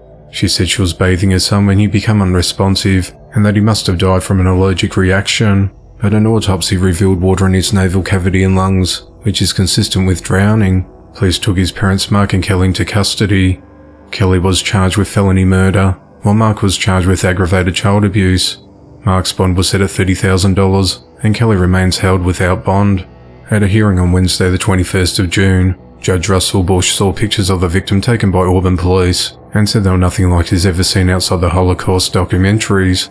The parents homeschooled their seven children and the victim had never seen a pediatrician. The investigation into the matter continues. 29-year-old Nicole Marie Labor is behind bars and is accused of letting an infant in her care drown in a bathtub and then lying to investigators on how it happened. At around 7.40am on Saturday the 17th of June, authorities responded to Nicole's home at 1321 Everglades Boulevard South in Naples, Florida on reports of an unresponsive infant. When first responders arrived, they attempted life-saving measures on the baby, but was later pronounced dead. Nicole told deputies that she briefly left the infant inside the house unattended while she went to retrieve a dog and another child who were in their care after they went outside the front door. When she returned, she said she found the infant slumped over the floor, face down in the dog's water bowl. During the investigation, detectives learned that Nicole left the infant unattended in the bathtub while strapped to a booster seat. The infant drowned after the booster seat tipped over and trapped the child under a few inches of water. Nicole was accused of cleaning up the scene dressing the child in a diaper and saying the baby drowned in the dog's water bowl. Nicole was arrested and charged with aggravated manslaughter of a child and is held at the Collier County Jail. A man is behind bars for fatally shooting a man inside his home early Wednesday morning. At 12.07am on the 21st of June, authorities responded to a residence in the 1600 block of Eastway Drive in Dallas, North Carolina on reports of shots fired. When officers arrived at the scene, they went inside the premises and found 25-year-old Christopher Knox Weary with multiple gunshot wounds. He was transported to the CaroMont Regional Medical Center, where he died shortly thereafter. Officers arrested 24-year-old Nicholas Max Talent, who lived at the home in connection to the shooting. Authorities said that Christopher and a friend were at Nicholas's home. When Christopher was ready to go, he called his mother to pick him up. Sometime after that call, Nicholas fired six shots through his bedroom door. Three of those shots fatally struck Christopher. The motive in the shooting is unclear. Nicholas is charged with second degree murder and was being held at the Gaston County Jail, but was released after posting a $500,000 bond. The investigation into the matter continues. 28-year-old Tiana Johnson has been charged in connection to the death of a toddler early this year. At 7.15am on the 22nd of January, authorities responded to an apartment in the 700 block of Blue Street in Fayetteville, North Carolina, on reports of an unresponsive child. First responders entered the residence and attempted life-saving measures on the girl, However, the child was pronounced dead at the scene and her death was ruled a homicide. Authorities have not disclosed the events leading up to the girl's death. Police said that the child and Tiana were related, but did not specify their exact relationship. However, police said that Tiana lived in the same apartment complex. On Friday the 23rd of June, Tiana was arrested and charged with second degree murder and felony child abuse and is held at the Cumberland County Detention Centre. A couple were arrested on Friday the 23rd of June in connection to the death of their infant daughter last month. At 5.12pm on the 31st of May, deputies responded to a home located near Interstate 75 and Bee Ridge Road in Sarasota County, Florida, in reference to the death of an 8-month-old child. The child had been found unresponsive and cold to touch and was transported to the doctor's hospital by the child's father, Nicholas Alexander and a friend who drove him there. Deputies determined that the child had been in the care of Carissa Alexander, the child's mother, when the child was observed face down on the couch cushions inside the residence. Further investigation determined that the child had not been checked on from 10.30am to approximately 4.45pm, when Nicholas returned home from work later that day. The child had been dead for several hours, and it's confirmed that the child died from exposure to fentanyl. Nicholas and Chris were each charged with aggravated manslaughter of the child and are being held without bond at the Sarasota Correctional Facility. A man is behind bars after using a drone to spy on a woman while she was preparing to take a shower. At around 11pm on Wednesday the 21st of June, authorities responded to a home along Midland Drive in Cranston, Rhode Island, where a woman reported a drone peering into a bathroom window. She said she had just returned home from work and was preparing to use the shower. Her bathroom window was slightly ajar and she said she heard a buzzing noise and went out to her backyard, thinking it had something to do with her pool. Once outside, she noticed a drone hovering outside her bathroom window. When she approached the drone, it quickly moved away from her, hit a tree branch and crashed to the ground. She grabbed the drone and submerged it into her pool to disable it, and handed it over to police. Investigators later tracked the drone to Christopher Jones, a convicted sex offender. He has not had to register since his requirement ended in 2015. Christopher admitted he operated the drone. On Friday the 23rd of June, Christopher was arrested and charged with video voyeurism. Three police officers have been charged with murder after fatally shooting a woman inside her apartment during a mental health crisis. In the very early morning hours of Friday the 23rd of June, authorities responded to an apartment complex in the 6200 block of Old Pearsall Road in San Antonio, Texas on reports of a disturbance and vandalism. Investigators said that a woman identified as 46-year-old Melissa Perez was behaving erratically, destroying things in her apartment and cutting through wires of a fire alarm system of the apartment complex. When officers arrived, they located Melissa in the parking lot and tried to talk to her, but she ran back to her apartment and locked herself in. She then reached for a glass candle and threw it at the officers. One group of officers was at the front of the apartment and three officers were stationed at the back patio of the apartment, identified as Alfred Flores, Eleazar Alejandro, and Nathaniel Villalobos. The three officers tried to coax Melissa out of the apartment, but she refused. Soon after, two of the officers jumped the railings and got onto the patio. Melissa then picked up a hammer, then swung the hammer from inside the apartment towards the officers and hit the window, breaking it. One of the officers fired his weapon at Melissa, but it didn't appear that she was struck.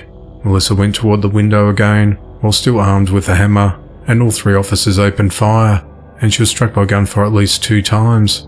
After the shooting, officers forced their way into the apartment and provided medical aid until medics arrived. Melissa died at the scene from her injuries. After reviewing body cam footage, the three officers were taken into custody late Friday and charged with murder. Their bonds were set at $100,000 each.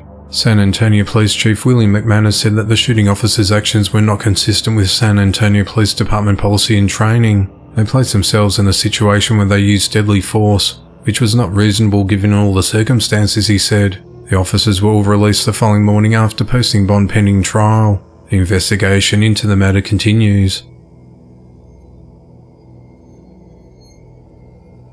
Authorities are investigating after a man was found fatally shot early Saturday morning. At around 4am on the 24th of June, police responded to Cordell Circle in Jacksonville, North Carolina, on reports of a person down. When officers arrived, they located a man laying on the roadway between Waffle House and Goodfellas Bar and Lounge, in a critical condition suffering from a gunshot wound. Medics arrived and attempted life-saving measures and transported him to a local hospital, where he later succumbed to his injuries. The victim was identified as 44-year-old Andre Markel Lewis, and his death was ruled a homicide. Investigators believe that this was an isolated incident. Police have not released a motive or made any arrests in the case, as the investigation into the matter continues. A teenager is behind bars and is accused of fatally stabbing a man over the weekend.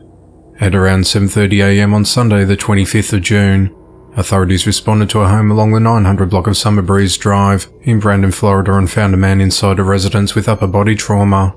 The victim was transported to Brandon Regional Hospital, where he later died. Officers located 17-year-old Caleb Beck near the scene, who was identified as a suspect. Authorities said that Caleb admitted to stabbing the unidentified victim during a heated argument, however it's unclear what the argument was about. Caleb was arrested and charged with murder in the second degree with a weapon, and is held at the Hillsborough County Jail. The investigation into the matter continues. 28-year-old Crystal Vera is behind bars after abandoning her malnourished 8-year-old son at their home early this month. Crystal left her son by himself while she left to hang out with her boyfriend. On the 8th of June, the boy broke into a nearby stranger's house located along Petrus Road in Harlingen, Texas to steal food. The Cameron County Sheriff's Office was notified about the child after the homeowners found the boy digging through their refrigerator and eating their food. The homeowners said he was holding food in his hands and said that he was hungry. The homeowners said they did not know the boy. Police said the young boy was observed to be skinny, seemed very weak and malnourished. The homeowners took the boy back to his home in an attempt to return him to his mother, but she was not home. After some time, the mother arrived back at her residence with a boyfriend, and she admitted to police that she left the boy unattended and home alone. The boy has since been removed from the home by Child Protective Services. On the 20th of June, after gathering enough evidence, Crystal was arrested and charged with abandonment and endangerment of a child with imminent bodily injury. She's held at the Cameron County Jail on a $20,000 bond. The investigation into the matter continues. A 32 year old man is behind bars after fatally stabbing the mother of his children over the weekend. At around 3pm on Sunday, the 25th of June, authorities responded to an apartment at 16 Natividad Road in Salinas, California on report of a stabbing. When officers arrived, they went inside the residence and found 30-year-old Eleni Tavu unresponsive with multiple stab wounds. Two of her children, a one-year-old girl and a two-year-old boy were found nearby. Officers attempted life-saving measures on Eleni before transporting her to a hospital where she was pronounced dead. Investigators interviewed witnesses, followed up on leads and discovered that Eleni had a restraining order against Rodrigo Bravo, the father of Eleni's young children. At around 5.30pm, Rodrigo turned himself in at the Salinas Police Department and confessed to the killing. Eleni's younger brother Alex Carr said they spoke on the phone just prior to the stabbing, and she told him that she was done with Rodrigo. She said that she wanted to move to Reno, Nevada to be with him and to bring her kids there. Rodrigo is charged with murder, violation of probation, and violation of a domestic violence restraining order. He's also charged with child endangerment because the toddlers were at home with their mother when she was slain. He's held at the Monterey County Jail with his bond set at $1 million. Eleni's family says she leaves behind three children. The investigation into the matter continues.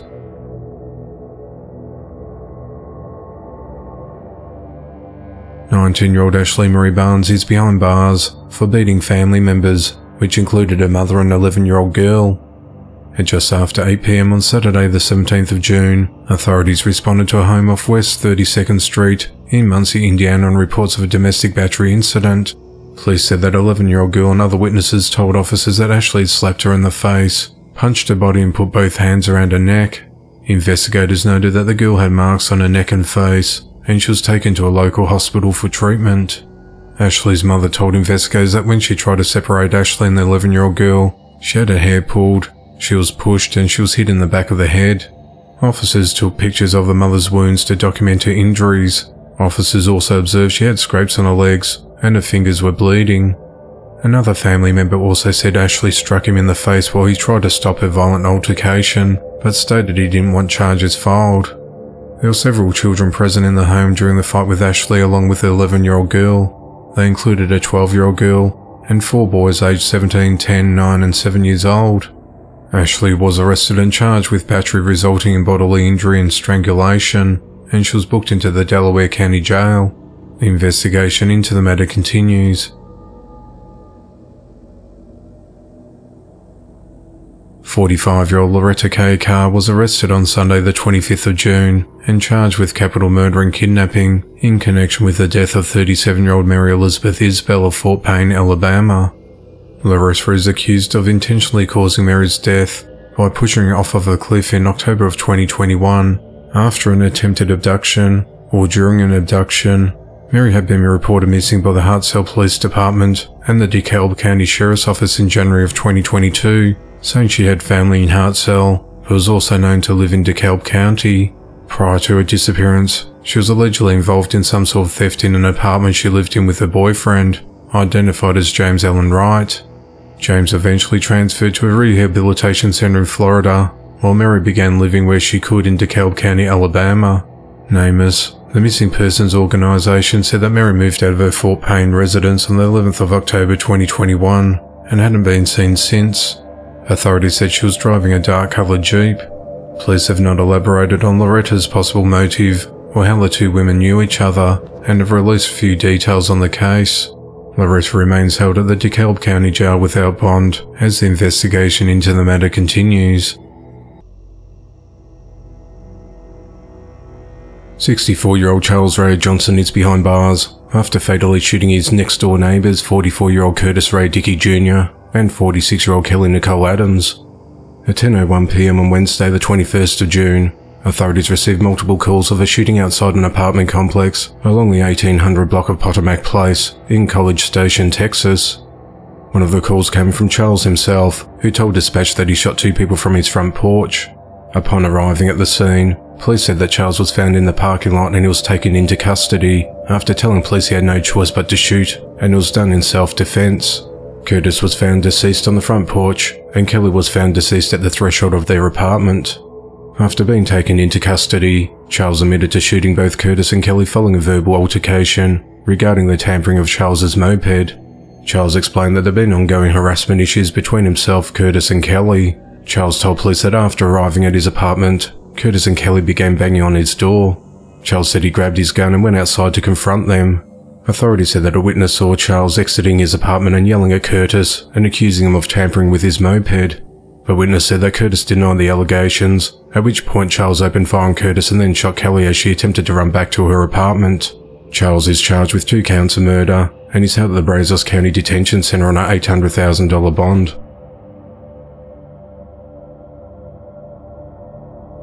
A 51 year old man was arrested last week for kidnapping a woman holding her captive in a trailer and sexually assaulting her over several days in May. On Tuesday, the 13th of June, authorities arrested Christopher Lee Ward at his residence along the 500 block of New Center Road in Hartselle, Alabama for first degree kidnapping and second degree assault, and additional charges are possible. A woman needed Christopher to take her to an appointment, and he drove her back to his trailer afterward and locked her in. Christopher told her that she ruined his day, then hit her several times, injuring her. He then used a padlock to keep her in the trailer and refused to let her leave. He reportedly sexually assaulted the victim as well. The victim told police that on the second night of captivity, Christopher had taken a shot of dope which in turn made him paranoid. The woman told police that Christopher punched her, kicked her, kneed her in the ribs, choked her, and beat her severely. Christopher said he'll kill her before he went to prison for this. The victim eventually managed to escape when she and Christopher got into his car, but then he stopped to say hi to someone he knew. She said she got out of the car and ran to safety when she asked someone to call 911 for her. Christopher is currently being held at the Morgan County Jail without bond. A 58 year old man is behind bars after fatally shooting his neighbour earlier this week. At just before 11pm on Tuesday, the 20th of June, authorities were called to a home along Chain Street in Sumter, South Carolina regarding a man laying unresponsive in the front yard of a residence. When officers arrived, they found 46 year old Levin Wilson deceased from gunshot wounds. Upon further investigation, police identified George Gregory Anderson as a suspect. Authorities said it remains unclear what led to the shooting. It's reported that the men were not acquainted, and there was no indication of a dispute before the incident. George is held at the Sumter County Detention Center on charges of murder and possession of a weapon during a violent crime. George was also served with an outstanding bench warrant unrelated to the case. The investigation into the matter continues. 26-year-old Hunter Tatum will avoid the death penalty after he pleaded guilty to fatally shooting his wife Summer Tatum and the couple's unborn son during his capital murder trial. On Wednesday the 21st of June, Hunter entered a plea arrangement for two counts of murder and a judge sentenced him to 198 years in prison. At just before midnight on the 18th of October 2021, Hunter shot Summer, who was five months pregnant at their home on Sunset Court in Prattville, Alabama. Prosecutors argued that Hunter killed Summer because she was angry that he had developed an online relationship with a woman in England. Hunter's defense team alleged Summer threatened Hunter with a gun and told him you don't deserve to live, and I'm going to kill you. Security camera footage, however, captured Summer pleading with Hunter outside their home. Please, please, please, I'll stay. I'll do anything. Don't kill me. Hunter said nope several times before shooting his wife twice in the back of the head with a revolver. Medics rushed an unresponsive Summer to Montgomery Hospital, where she was pronounced dead. Doctors delivered baby Everett via emergency C-section, and he survived for about two hours before dying. Prosecutors sought the death penalty, but Summer's family approved of the plea deal. In his statement, District Attorney C.J. Robinson said the case took a toll on all of us. A 23 year old man is behind bars after fatally shooting a 23 year old man and injuring his 21 year old estranged girlfriend over the weekend.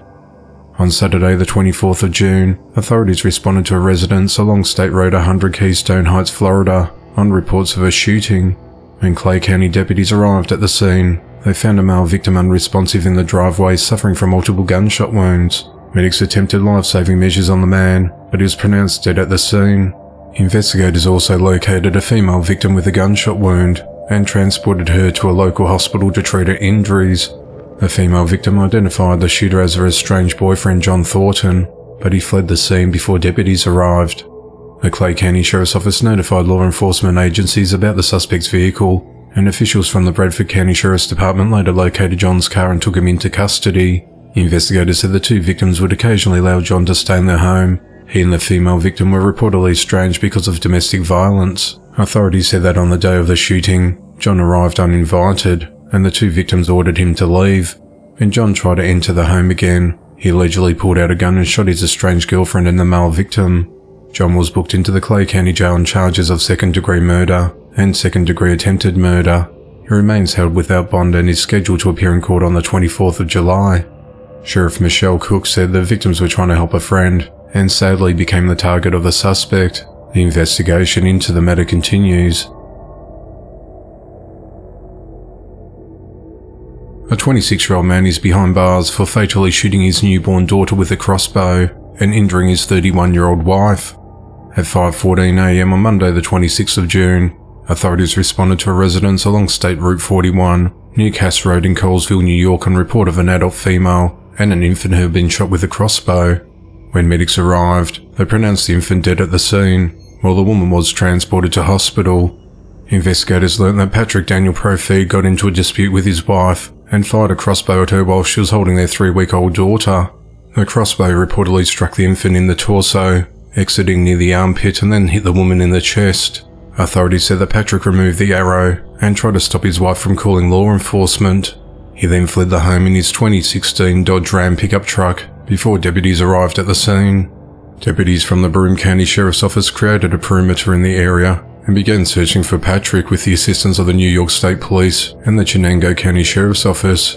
Investigators located Patrick less than a mile away from his home in a wooded area after his vehicle got stuck in the mud. Deputies arrested Patrick and charged him with second degree murder, second degree attempted murder, and first degree criminal contempt. He's been held at the Broome County Jail without bail. Authorities said that Patrick has an active stay away order of protection and a long history of domestic violence. Broome County Sheriff Fred Akshar called the case one of the most heartbreaking and senseless crimes. He said having a newborn child should be the greatest thing in life. It should not push you to commit homicide, and that's exactly what Patrick did. The woman's condition is currently unclear as the investigation into the matter continues. At 3.45am on Monday the 26th of June, authorities arrested 39-year-old Jamie Schnackenberg at his home along School Street in Monticello, Maine for the murder of his living girlfriend, 42-year-old Kimberly Hardy. Kimberly was reported missing on Sunday the 18th of June by her mother after she had not seen or heard from her daughter since Friday the 16th of June and an extensive search for her began. Authorities said that Kimberly was undergoing cancer treatments, which was supposed to be ongoing.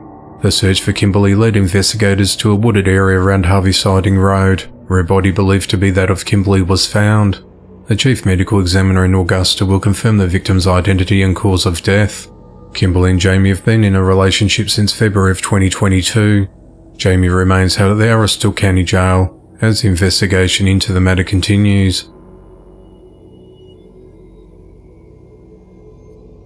Police have arrested 19-year-old Enrique Padilla for fatally shooting 52-year-old Michael Tenorio in a movie theatre after getting into a fight over reserved seats. At around 9pm on Sunday the 25th of June, authorities responded to multiple reports of shots fired at the Century Rio movie theatre on Pan American Freeway in Albuquerque, New Mexico. Enrique Michael at the theatre seeing no hard feelings. Michael and his wife were reportedly sitting in the seats that Enrique and his girlfriend reserved. Enrique confronted Michael and a theatre employee tried to break it up. Enrique then threw a bucket of popcorn at the couple. Michael and Enrique then started fighting. Authorities said that Enrique fired several shots, struck Michael and fled the scene. An off-duty officer who was at the theatre during the shooting performed CPR on Michael, however he died at the scene. Police found Enrique hiding in the bush near the theatre's emergency exit, and he was taken to University New Mexico Hospital and treated for a gunshot wound to his stomach. When Enrique was questioned, he said he was shot inside the movie theatre, but he was unsure who shot him. Witnesses in the theatre said they saw a green laser prior to the shooting, and police later discovered a gun with a laser in the bushes where Enrique emerged from.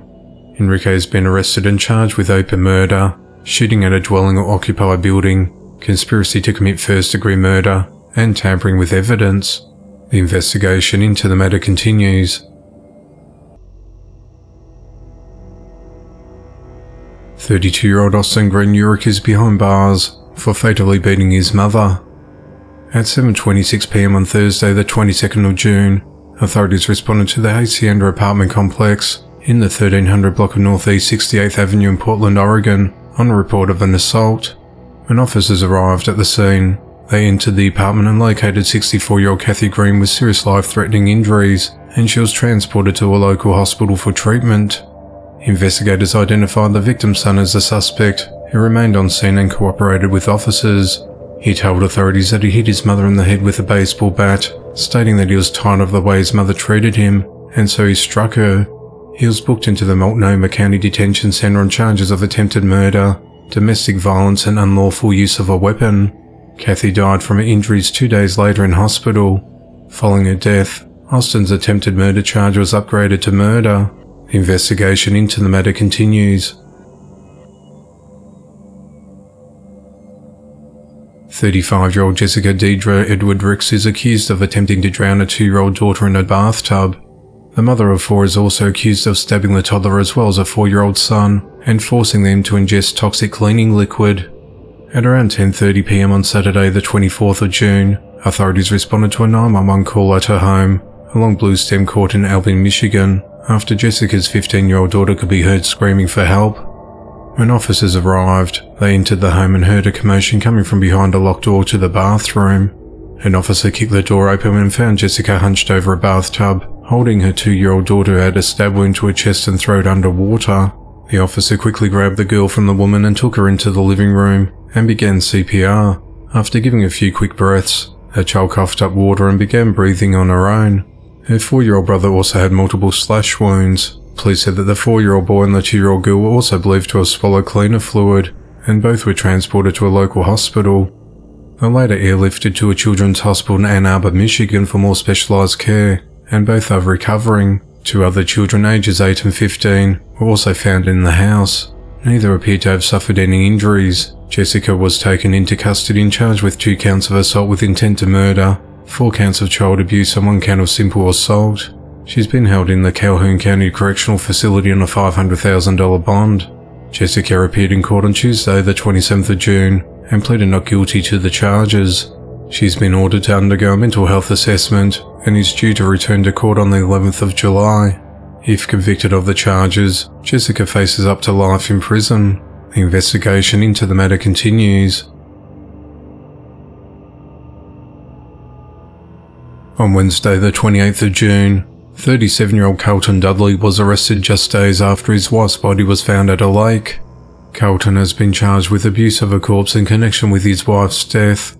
32 year old Sarah Dudley was reported missing on Saturday, the 24th of June, but her body was found two days later along the shore of Lake Lewisville, near a camping area by visitors to Hidden Cove Park in Frisco, Texas. Carlton told police he spent time with his wife early Saturday afternoon and then left to go to a friend's house to take care of the cat. When he returned at around 4 pm, he said his wife was gone and assumed that she had gone to work in Plano, Texas, roughly 15 miles away from Hidden Cove Park. He told investigators he took his kayak to Hidden Cove on Lewisville Lake, but couldn't inflate it. Police said that he told him that he couldn't get his kayak to blow up. It's a soft kayak, so he just stayed at the marina for a while and walked around. After Sarah's body was found, investigators learnt that the husband was required to wear an ankle monitor as part of bond conditions for an aggravated sexual assault case against a child in Frisco, Texas in September of 2022. When detectives looked at the data from his monitor, they found that he was not just on the shore, but he was out on the water somewhere. Investigators gathered enough evidence to arrest him on abuse of a corpse charge. Authorities said that more charges are possible after an autopsy is completed. Carlton and Sarah lived in an apartment in Plano, Texas, and are reportedly been together for 10 years. Carlton is being held at the Collin County Jail on a $560,000 bond. The investigation into the matter continues.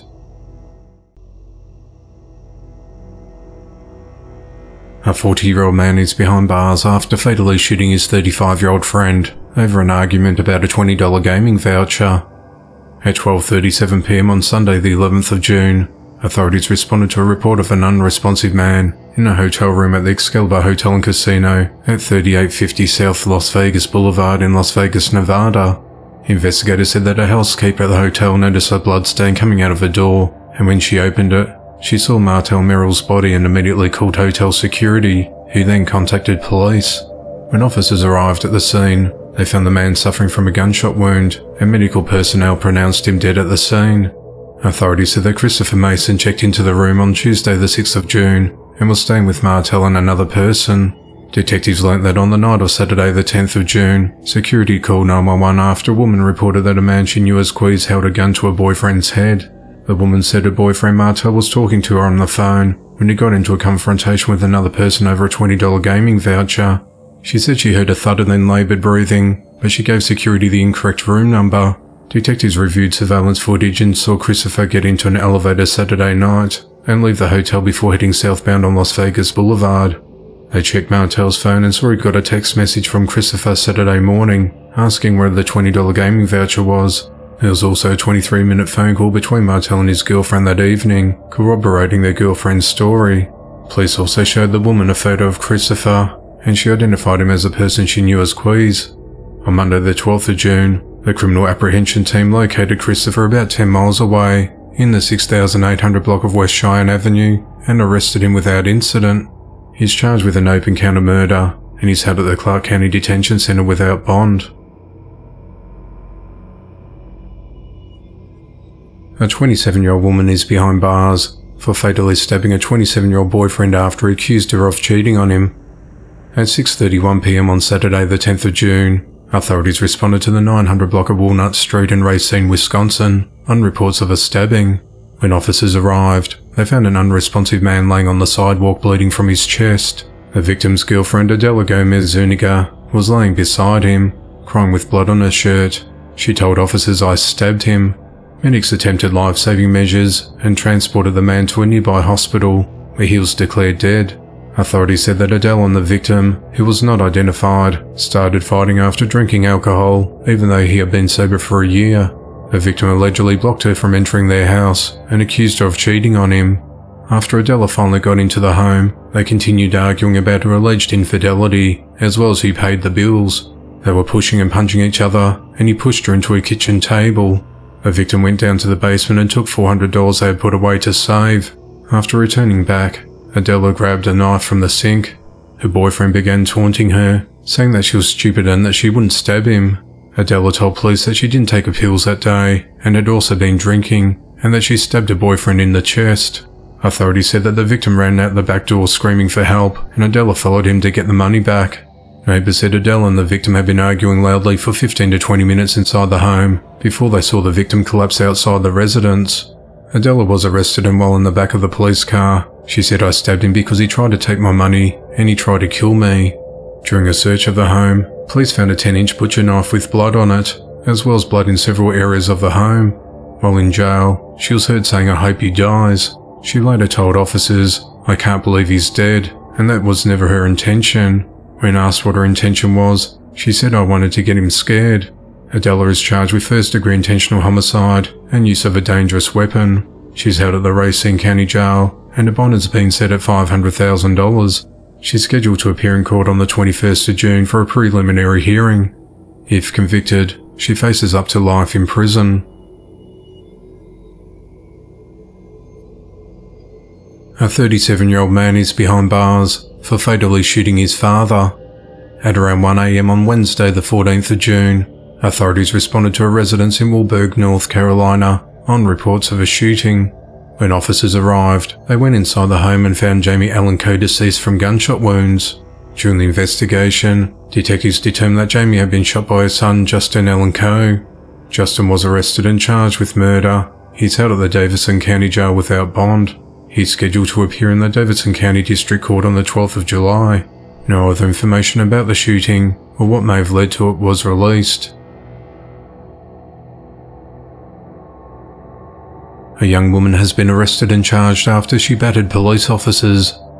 At around 9.45pm on the 8th of June, authorities responded to a home on North 8th Street in Middletown, Indiana on report of a person refusing to leave a home. When one officer arrived, he could hear several people yelling on the porch outside. He described several cigarettes and other things scattered about. Investigators said that a woman identified as T Short was holding a small child and crying. T said she called 911 because her daughter, Emily Collins came to visit and was refusing to leave. She added that early in the week, there was an altercation and Emily had battered her. She said she was tired of being treated badly by her daughter. The officer then asked Emily to leave the home and warned her that she would be arrested if she did not comply. Emily stated that she wasn't going to leave. After multiple attempts for a peaceful exit, the officer began to arrest Emily. She then began assaulting the police officer by punching and kicking. The officer was kicked in the groin, prompting Emily's father Bobby to help try and restrain the woman. The officer then called for backup, and another officer responded to the scene. Both officers then attempted to put handcuffs on Emily's wrists. She freed herself and began swinging, striking the officer in the face and kicking a second officer in the chest. The officers then held Emily down on the ground until additional backup arrived. Three additional officers arrived, and they were able to restrain Emily with handcuffs.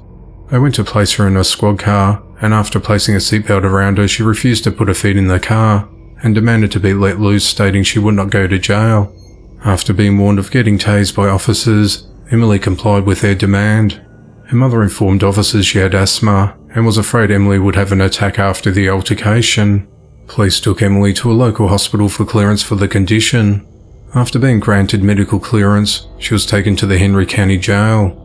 Emily is charged with two counts of battery against a public official, resisting law enforcement, and criminal trespassing. Authorities are investigating a shooting which took the life of a pregnant 21 year old woman and an unborn child. At around 1am on Sunday, the 11th of June, a fight broke out at Soup's Restaurant and Bar at 1205 Country Club Drive in Jackson, Mississippi. Ayara Anderson was eight months pregnant and had spent the night at the venue, and as she was attempting to leave in her car, she got caught in a crossfire. She was shot in the head and leg and crashed the vehicle into the Interstate 220 overpass along Industrial Drive. Ayaria's friends attempted to revive her and called 911. Paramedics arrived and transported her to a local hospital where she was placed on life support. An emergency C-section was performed, but Ayari and the unborn child died. Police have not made any arrests to date and have urged anyone with information about the incident to contact Crime Stoppers. A 42 year old man is behind bars in connection to the homicide of his 48 year old girlfriend. At 11.23 pm on Friday, the 9th of June, authorities responded to a home along the 2340 block of Blockerberg Road in Detroit, Michigan after Stacy Smith was found deceased in a bedroom. Authorities said she had been fatally strangled, stabbed in the chest with a knife, and her left leg had been partially burned. Upon further investigation, detectives identified Stacy's boyfriend Cortez Xavier Coleman as a suspect in a murder. Authorities said they believe Cortez tried to cover up the crime by burning Stacy's body with lighter fluid before fleeing the scene. On Monday the 12th of June, police located Cortez and he was arrested. On Thursday the 15th of June, Cortez was arraigned in court via Zoom on a first degree murder charge. He pleaded not guilty to the charge and he's been held without bond. His preliminary hearing is scheduled for the 12th of July. Stacy survived by two teenage children, Kaya and Keith. The motive in the attack is unclear as the investigation into the matter continues. A 61 year old man is behind bars for fatally beating his 69 year old roommate. At 8.45pm on Friday the 2nd of June, authorities responded to Heritage Place Adult Living Centre at 1372 Eufola Road in Statesville, North Carolina, after facility employees called 911 to report an assault. When deputies arrived, they found 69 year old Mark Gray Leggett conscious, but suffering from significant trauma after being beaten in the head repeatedly with a blunt object. Paramedics rushed Mark to the Wake Forest Baptist Medical Center for emergency medical care. Investigators interviewed witnesses at the scene and recovered evidence. The victim's roommate, Gregory Gerald Warner, who was still on scene, was identified as a suspect and was immediately taken into custody. Gregory was transported to the Iredell County Detention Center and was charged with felony assault inflicting serious bodily injury. A week later, on Friday the 9th of June, authorities learnt that Mark died while at the hospital. On Monday the 12th of June, an autopsy was conducted by the medical examiner and it was determined that Mark's death was caused by injuries received during the assault. That same day, Gregory's assault charge was upgraded to first degree murder and he remains in jail without bond. Gregory has a criminal history and has previously been convicted for indecent exposure. The motive in the attack is unclear as the investigation into the matter continues. A 61 year old man is behind bars after he's found living with the body of his roommate for several days. On Friday, the 9th of June, authorities responded to a residence at 4th Avenue West in Searcy, Alabama about a dead family member inside the home. When deputies arrived, they found Leandrew Smith Jr. living inside the home with the man's body for days without notifying authorities of his death. The deceased man has been identified as James Edward Royal, James's 17 year old grandson made the discovery and reported it to authorities. Leandrew was arrested and charged with abuse of a corpse. He remains held at the Walker County Jail on a $10,000 cash only bond. 45 year old Robert Moriarty is accused of killing his wife, 42 year old Kimberly Kellum and their 11 year old daughter, and hiding their bodies in a garage for months at an abandoned rural residence. At 8.30am on Monday the 12th of June, Kimberly's brother-in-law called the Wise County Sheriff's Office and said that no one had seen her or her child for months. He told the 911 operator his sister-in-law was living off of County Road 4371 with Robert in Decatur, Texas. He also said the couple had three children. Deputies went to their home, finding it abandoned. No one answered when they knocked on the door, and a walk around the property found no one at the address. The next day, at around 6 pm, a sheriff's office investigator, the Texas Rangers and several Dallas police officers located Robert in Dallas, more than an hour away from the Decatur property. They questioned him while his two children, aged 10 and 3, were beside him. Investigators said at first, Robert said he hadn't seen Kimberly or their daughter for about six months. Eventually, though, he told the investigators that they were dead, and their remains were in the garage of the home deputies originally checked out. The children were released to Child Protective Services, and Robert voluntarily returned to Wise County with a Wise County Sheriff's Office investigator and a Texas Ranger. They went to the home, where he pointed out where the bodies were. Sheriff Lane Atkins said the bodies were covered and stowed away in the garage, and it wasn't hard to find them. He said they were covered with blankets and clothing, and had been stowed away in the garage for quite some time, probably five to six months. We don't know exactly what the motive was, or exactly how they were killed, but we know it was at his hand, he said. Detectives located two knives at the scene. Robert was arrested and charged with tampering with a corpse, murder and capital murder. He's out at the Wise County Jail on an $800,000 bond. The bodies of both victims were sent to the Dallas Medical Examiner's office for an autopsy. The investigation into the matter continues.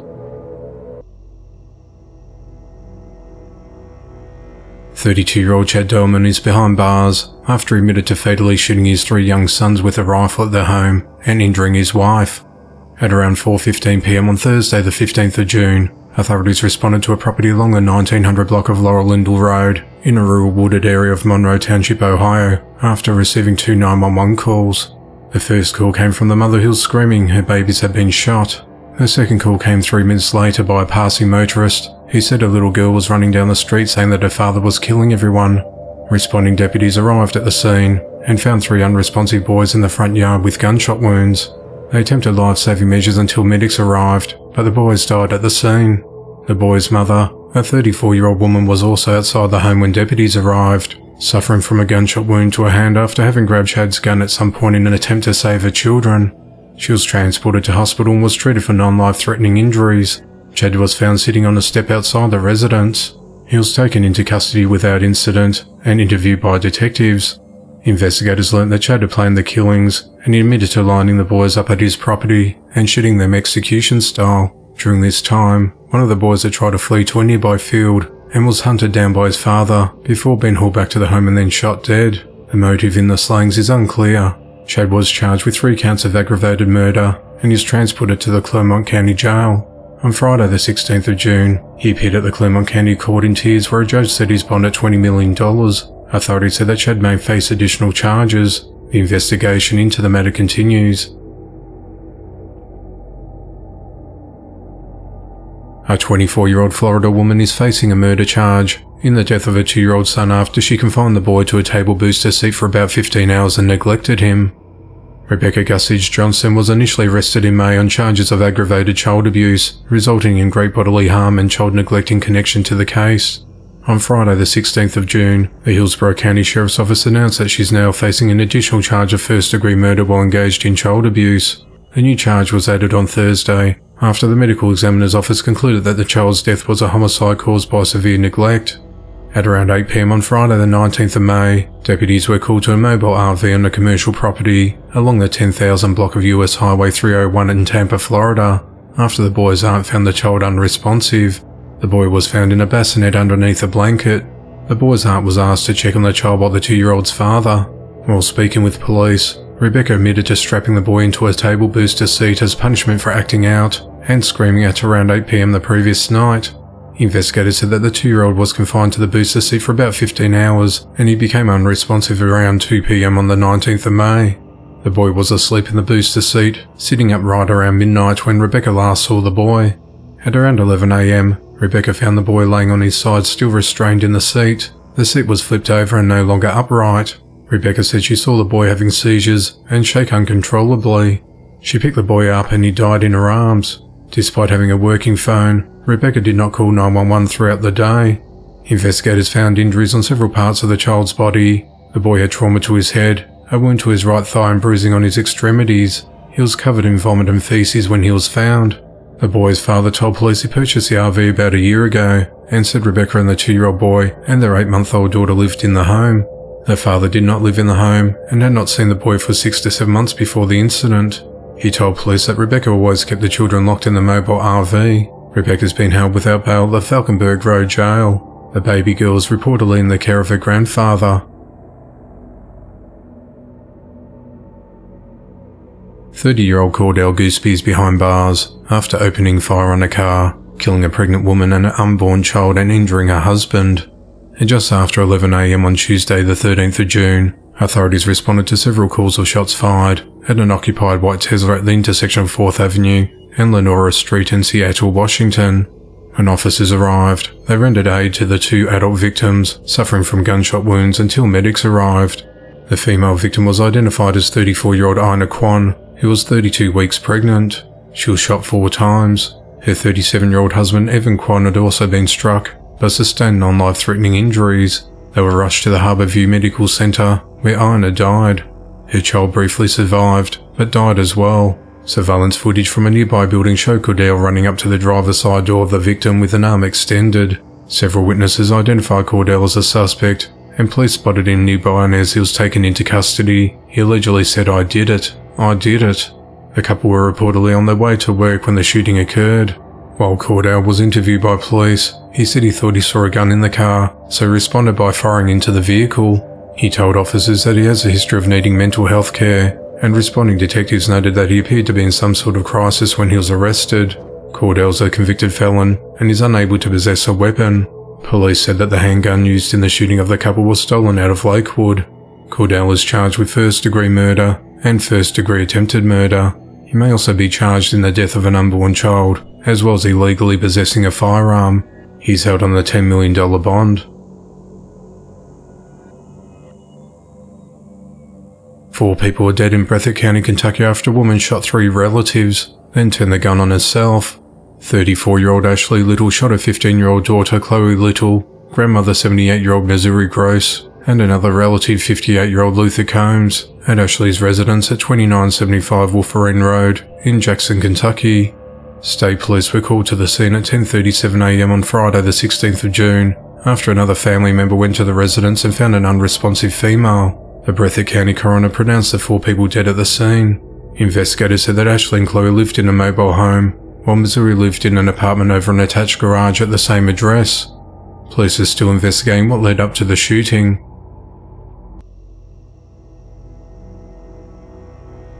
A 26 year old man is behind bars after fatally shooting his 20 year old girlfriend at their home.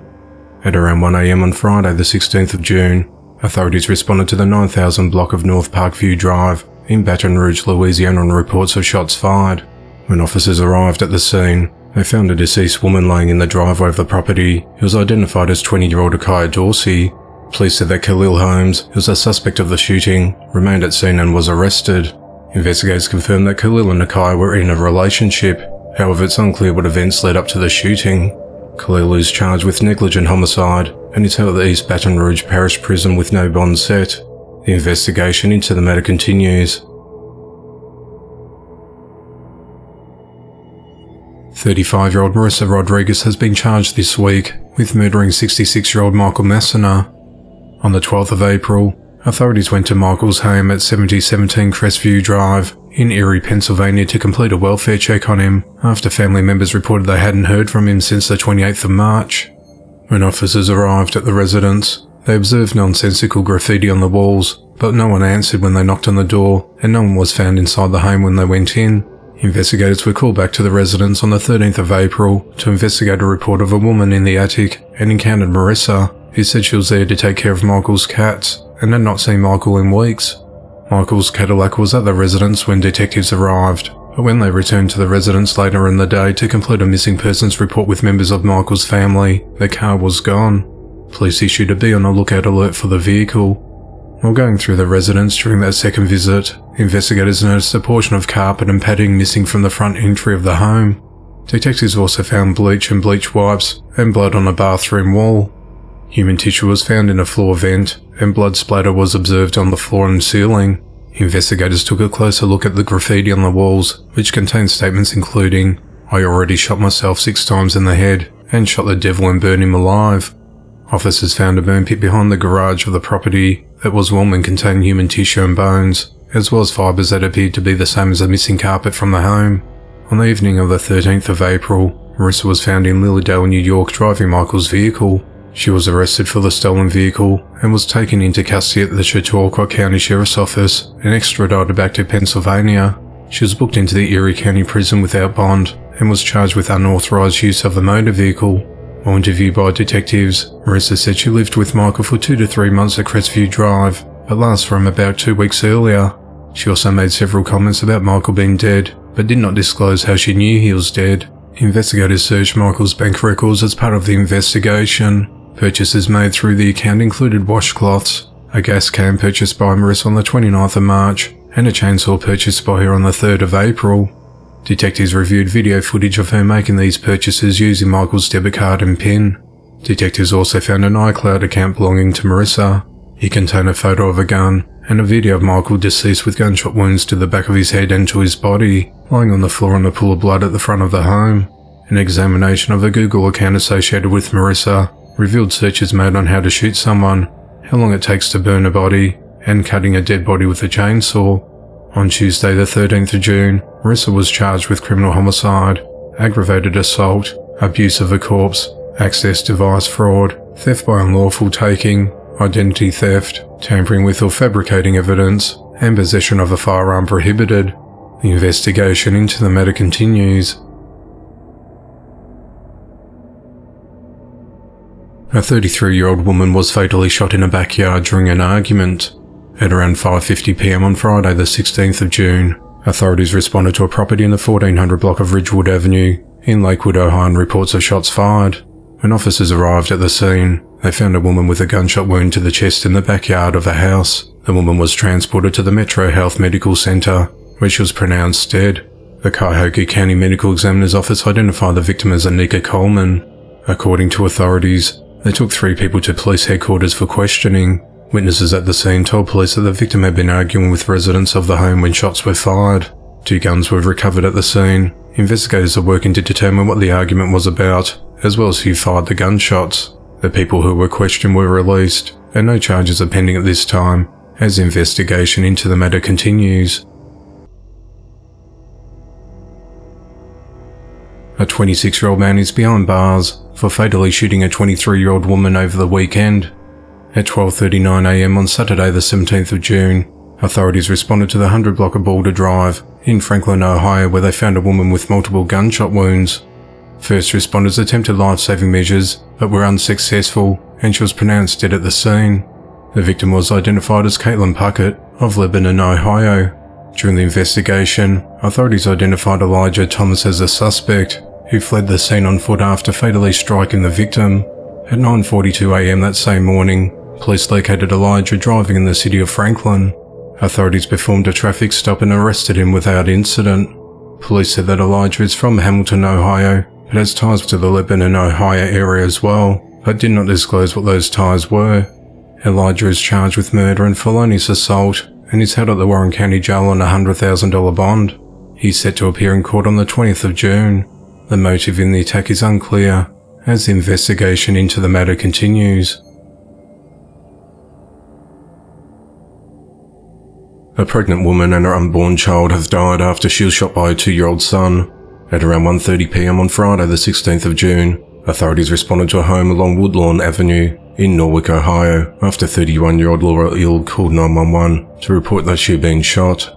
When police arrived at the residence, they found Laura behind a locked door upstairs with a gunshot wound to her back. Laura and her unborn child were pronounced dead shortly thereafter. Police said that Laura and her toddler son were the only ones at the home at the time. Norwalk Police Chief Dave Smith said there's just no words. The specifics on how the shooting happened is yet to be determined. The detectives are taking a good look at it, he said. 26-year-old Donovan Hartzell is behind bars after a security home camera caught him shaking and hurting his four-month-old infant daughter over the weekend. At around 10.35am on Saturday the 17th of June, authorities responded to a home in Safety Harbor, Florida, after receiving a report of child abuse. The baby's mother, who was not home at the time when deputies arrived, told them that Donovan was seen on a camera inside the home shaking and hurting the baby. When law enforcement went inside the home, they found Donovan in a bedroom and the baby lying on the bed crying. Authorities said the infant had visible red marks on her face, neck, arms, and chest. Authorities said that a video provided by the mother confirmed that Donovan held the baby by her shoulders and shook her vigorously back and forth. Donovan then put the baby on his lap while she continues to cry, and then he starts to aggressively rub a blanket in her face. Her child was taken to hospital with non-life threatening injuries. Donovan was arrested and charged with child abuse and remains held at the Pinellas County Jail. The investigation into the matter continues. 33-year-old Brittany Holbrook is behind bars after fatally shooting her 30-year-old boyfriend Tyler Nullich. At 2.45am on Saturday the 17th of June, authorities responded to a house at 491 Avenue F in Big Coppitt Key, Florida after the couple's roommate Jordan King called 911. He told the operator his roommate Tyler was in bad shape and is hurt really bad, and there's a lot of blood. When deputies arrived, they found Tyler on the living room floor, covered in blood with a bullet wound to his lower back. Deputies saw a handgun along with a spent shell casing on the floor. Tyler was unconscious but breathing, and he was rushed to the Lower Keys Medical Center, but he died an hour later. Jordan told investigators that he, Tyler, and Tyler's girlfriend Brittany had been drinking earlier, and that all three went to bed before he was awakened by a scream. He ran to the living room and found Tyler on the floor bleeding. When he asked what happened, Tyler reportedly said the bitch shot me in the back. When deputies questioned Brittany, she said she initially said there was a gap in her memory. She said she remembered going to bed, but the next thing she recalled was being in the living room holding her boyfriend, who was covered in blood. A little later, she said she recalled waking up in the bed and Tyler strangling her. She said she didn't know how she got away, but remembered him strangling her a second time and pushing her up against the bathroom wall. She told detectives that while Tyler was strangling her, she struggled to breathe so she punched and scratched him. While detectives saw bruising on her knuckles, they did not see any sign of strangulation on her throat or in her eyes. She said that she had not fired a gun since moving from Stuart, Florida over nine months ago. Brittany was arrested and charged with murder, she remains held at the Monroe County Jail. A woman was arrested after she went for an early Sunday morning stroll naked. At 6.36am on the 18th of June, authorities responded to the 700 block of Keck Avenue in Evansville, Indiana, on reports of a female walking the streets without any clothes on. Police quickly located the woman, later identified as Roxy Babb, down the road at the intersection of Morton and Race Avenue. Roxy was handcuffed and transported to the Vanderburgh County Confinement Center and is charged with public indecency. A man has been arrested after a mother of a toddler found a stranger sexually assaulting a baby in an upstairs bedroom. At 12.40am on Friday the 16th of June, authorities responded to a woman's home at Piqua, Ohio after she called police to report the abuse. The man fled the residence after being discovered. Police developed a suspect and by 12.30pm that day, they arrested 34-year-old Jesse Hartman of Piqua. Jesse was charged with rape and burglary, and he's been held at the Miami County Jail. Police said additional charges could be filed. The investigation into the matter continues. A 44-year-old woman is behind bars after impersonating a Child Protective Services worker and trying to lure a 4-year-old boy to her home. At just after 3pm on Saturday the 17th of June, Lisa Nocrelli knocked on the door of the victim's home, located at 5801 Ralston Avenue in Cincinnati, Ohio, and claimed she worked for Child Protective Services. Lisa, who was wearing a badge, asked to enter the victim's home to perform an inspection because someone had filed a complaint against them. The child's mother, Jamie Spredlin, said that Lisa even knew all of her children's names. Lisa, however, did not leave her contact information behind. Jamie said she was tending to her infant son inside the home, and her daughter was in the driveway, while son was out the front on his bike when he was approached by Lisa. Her husband Tim was away at the time. The victim's parents felt something was off, and reviewed surveillance footage and saw that Lisa touched their son, put her arm around him, and stroked his hair for several minutes before she spoke with the mother. The family did some research and learnt that Lisa was not in fact with Child Protective Services. Jamie said that everything was a lie, and now we're sitting here on top of being enraged that this has even happened terrified because I don't know what her plan was. Lisa told investigators that she had been drinking since early that day and that she walked to Kroger to get some more beer.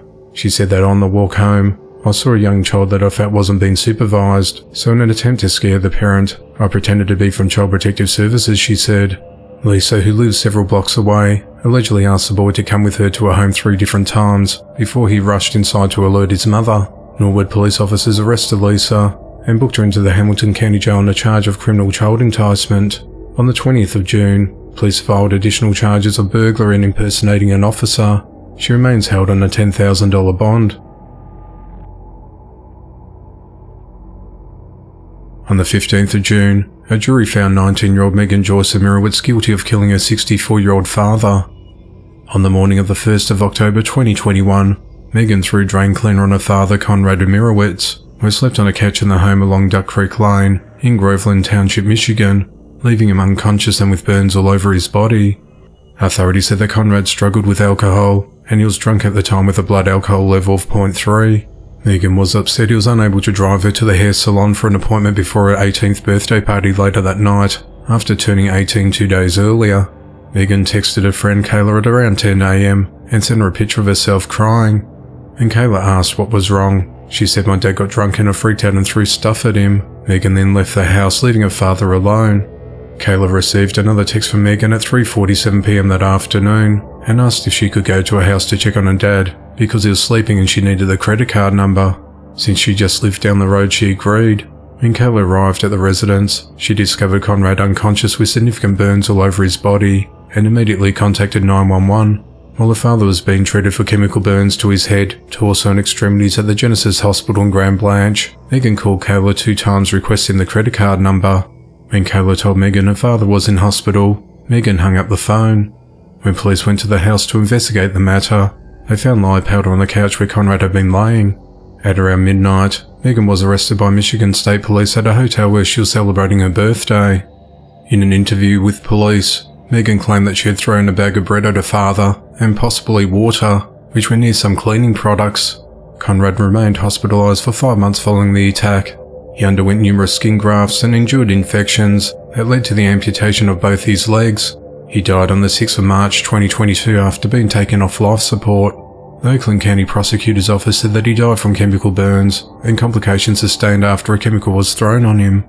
Prosecutor Karen McDonald said this is a tragic case. The defendant lashed out in anger and wound up killing her father. Megan faces up to life in prison and will be sentenced on the 25th of July. A man and a woman are dead following a shooting in a suspected murder-suicide. At 6.47pm on Sunday the 18th of June, authorities responded to a home at 2942 First Avenue in New Auburn, Wisconsin, after receiving a report that two people were possibly dead. When deputies arrived at the scene, they found 37-year-old Beth Parker, the resident of the home, suffering from a gunshot wound. She was rushed to a local hospital, where she died from her injuries. Investigators said that 38-year-old Jeremy Whitrock of Rice Lake, who was under a no-contact order with Beth due to a pending domestic abuse charge, was pronounced dead at the scene with what appeared to be a self-inflicted gunshot wound. A 15-year-old was also at the home at the time, but was not physically hurt. The teen's relationship to the man and woman is unknown. Authorities said the official causes of death will be released by the Barron County Medical Examiner's Office at a later date.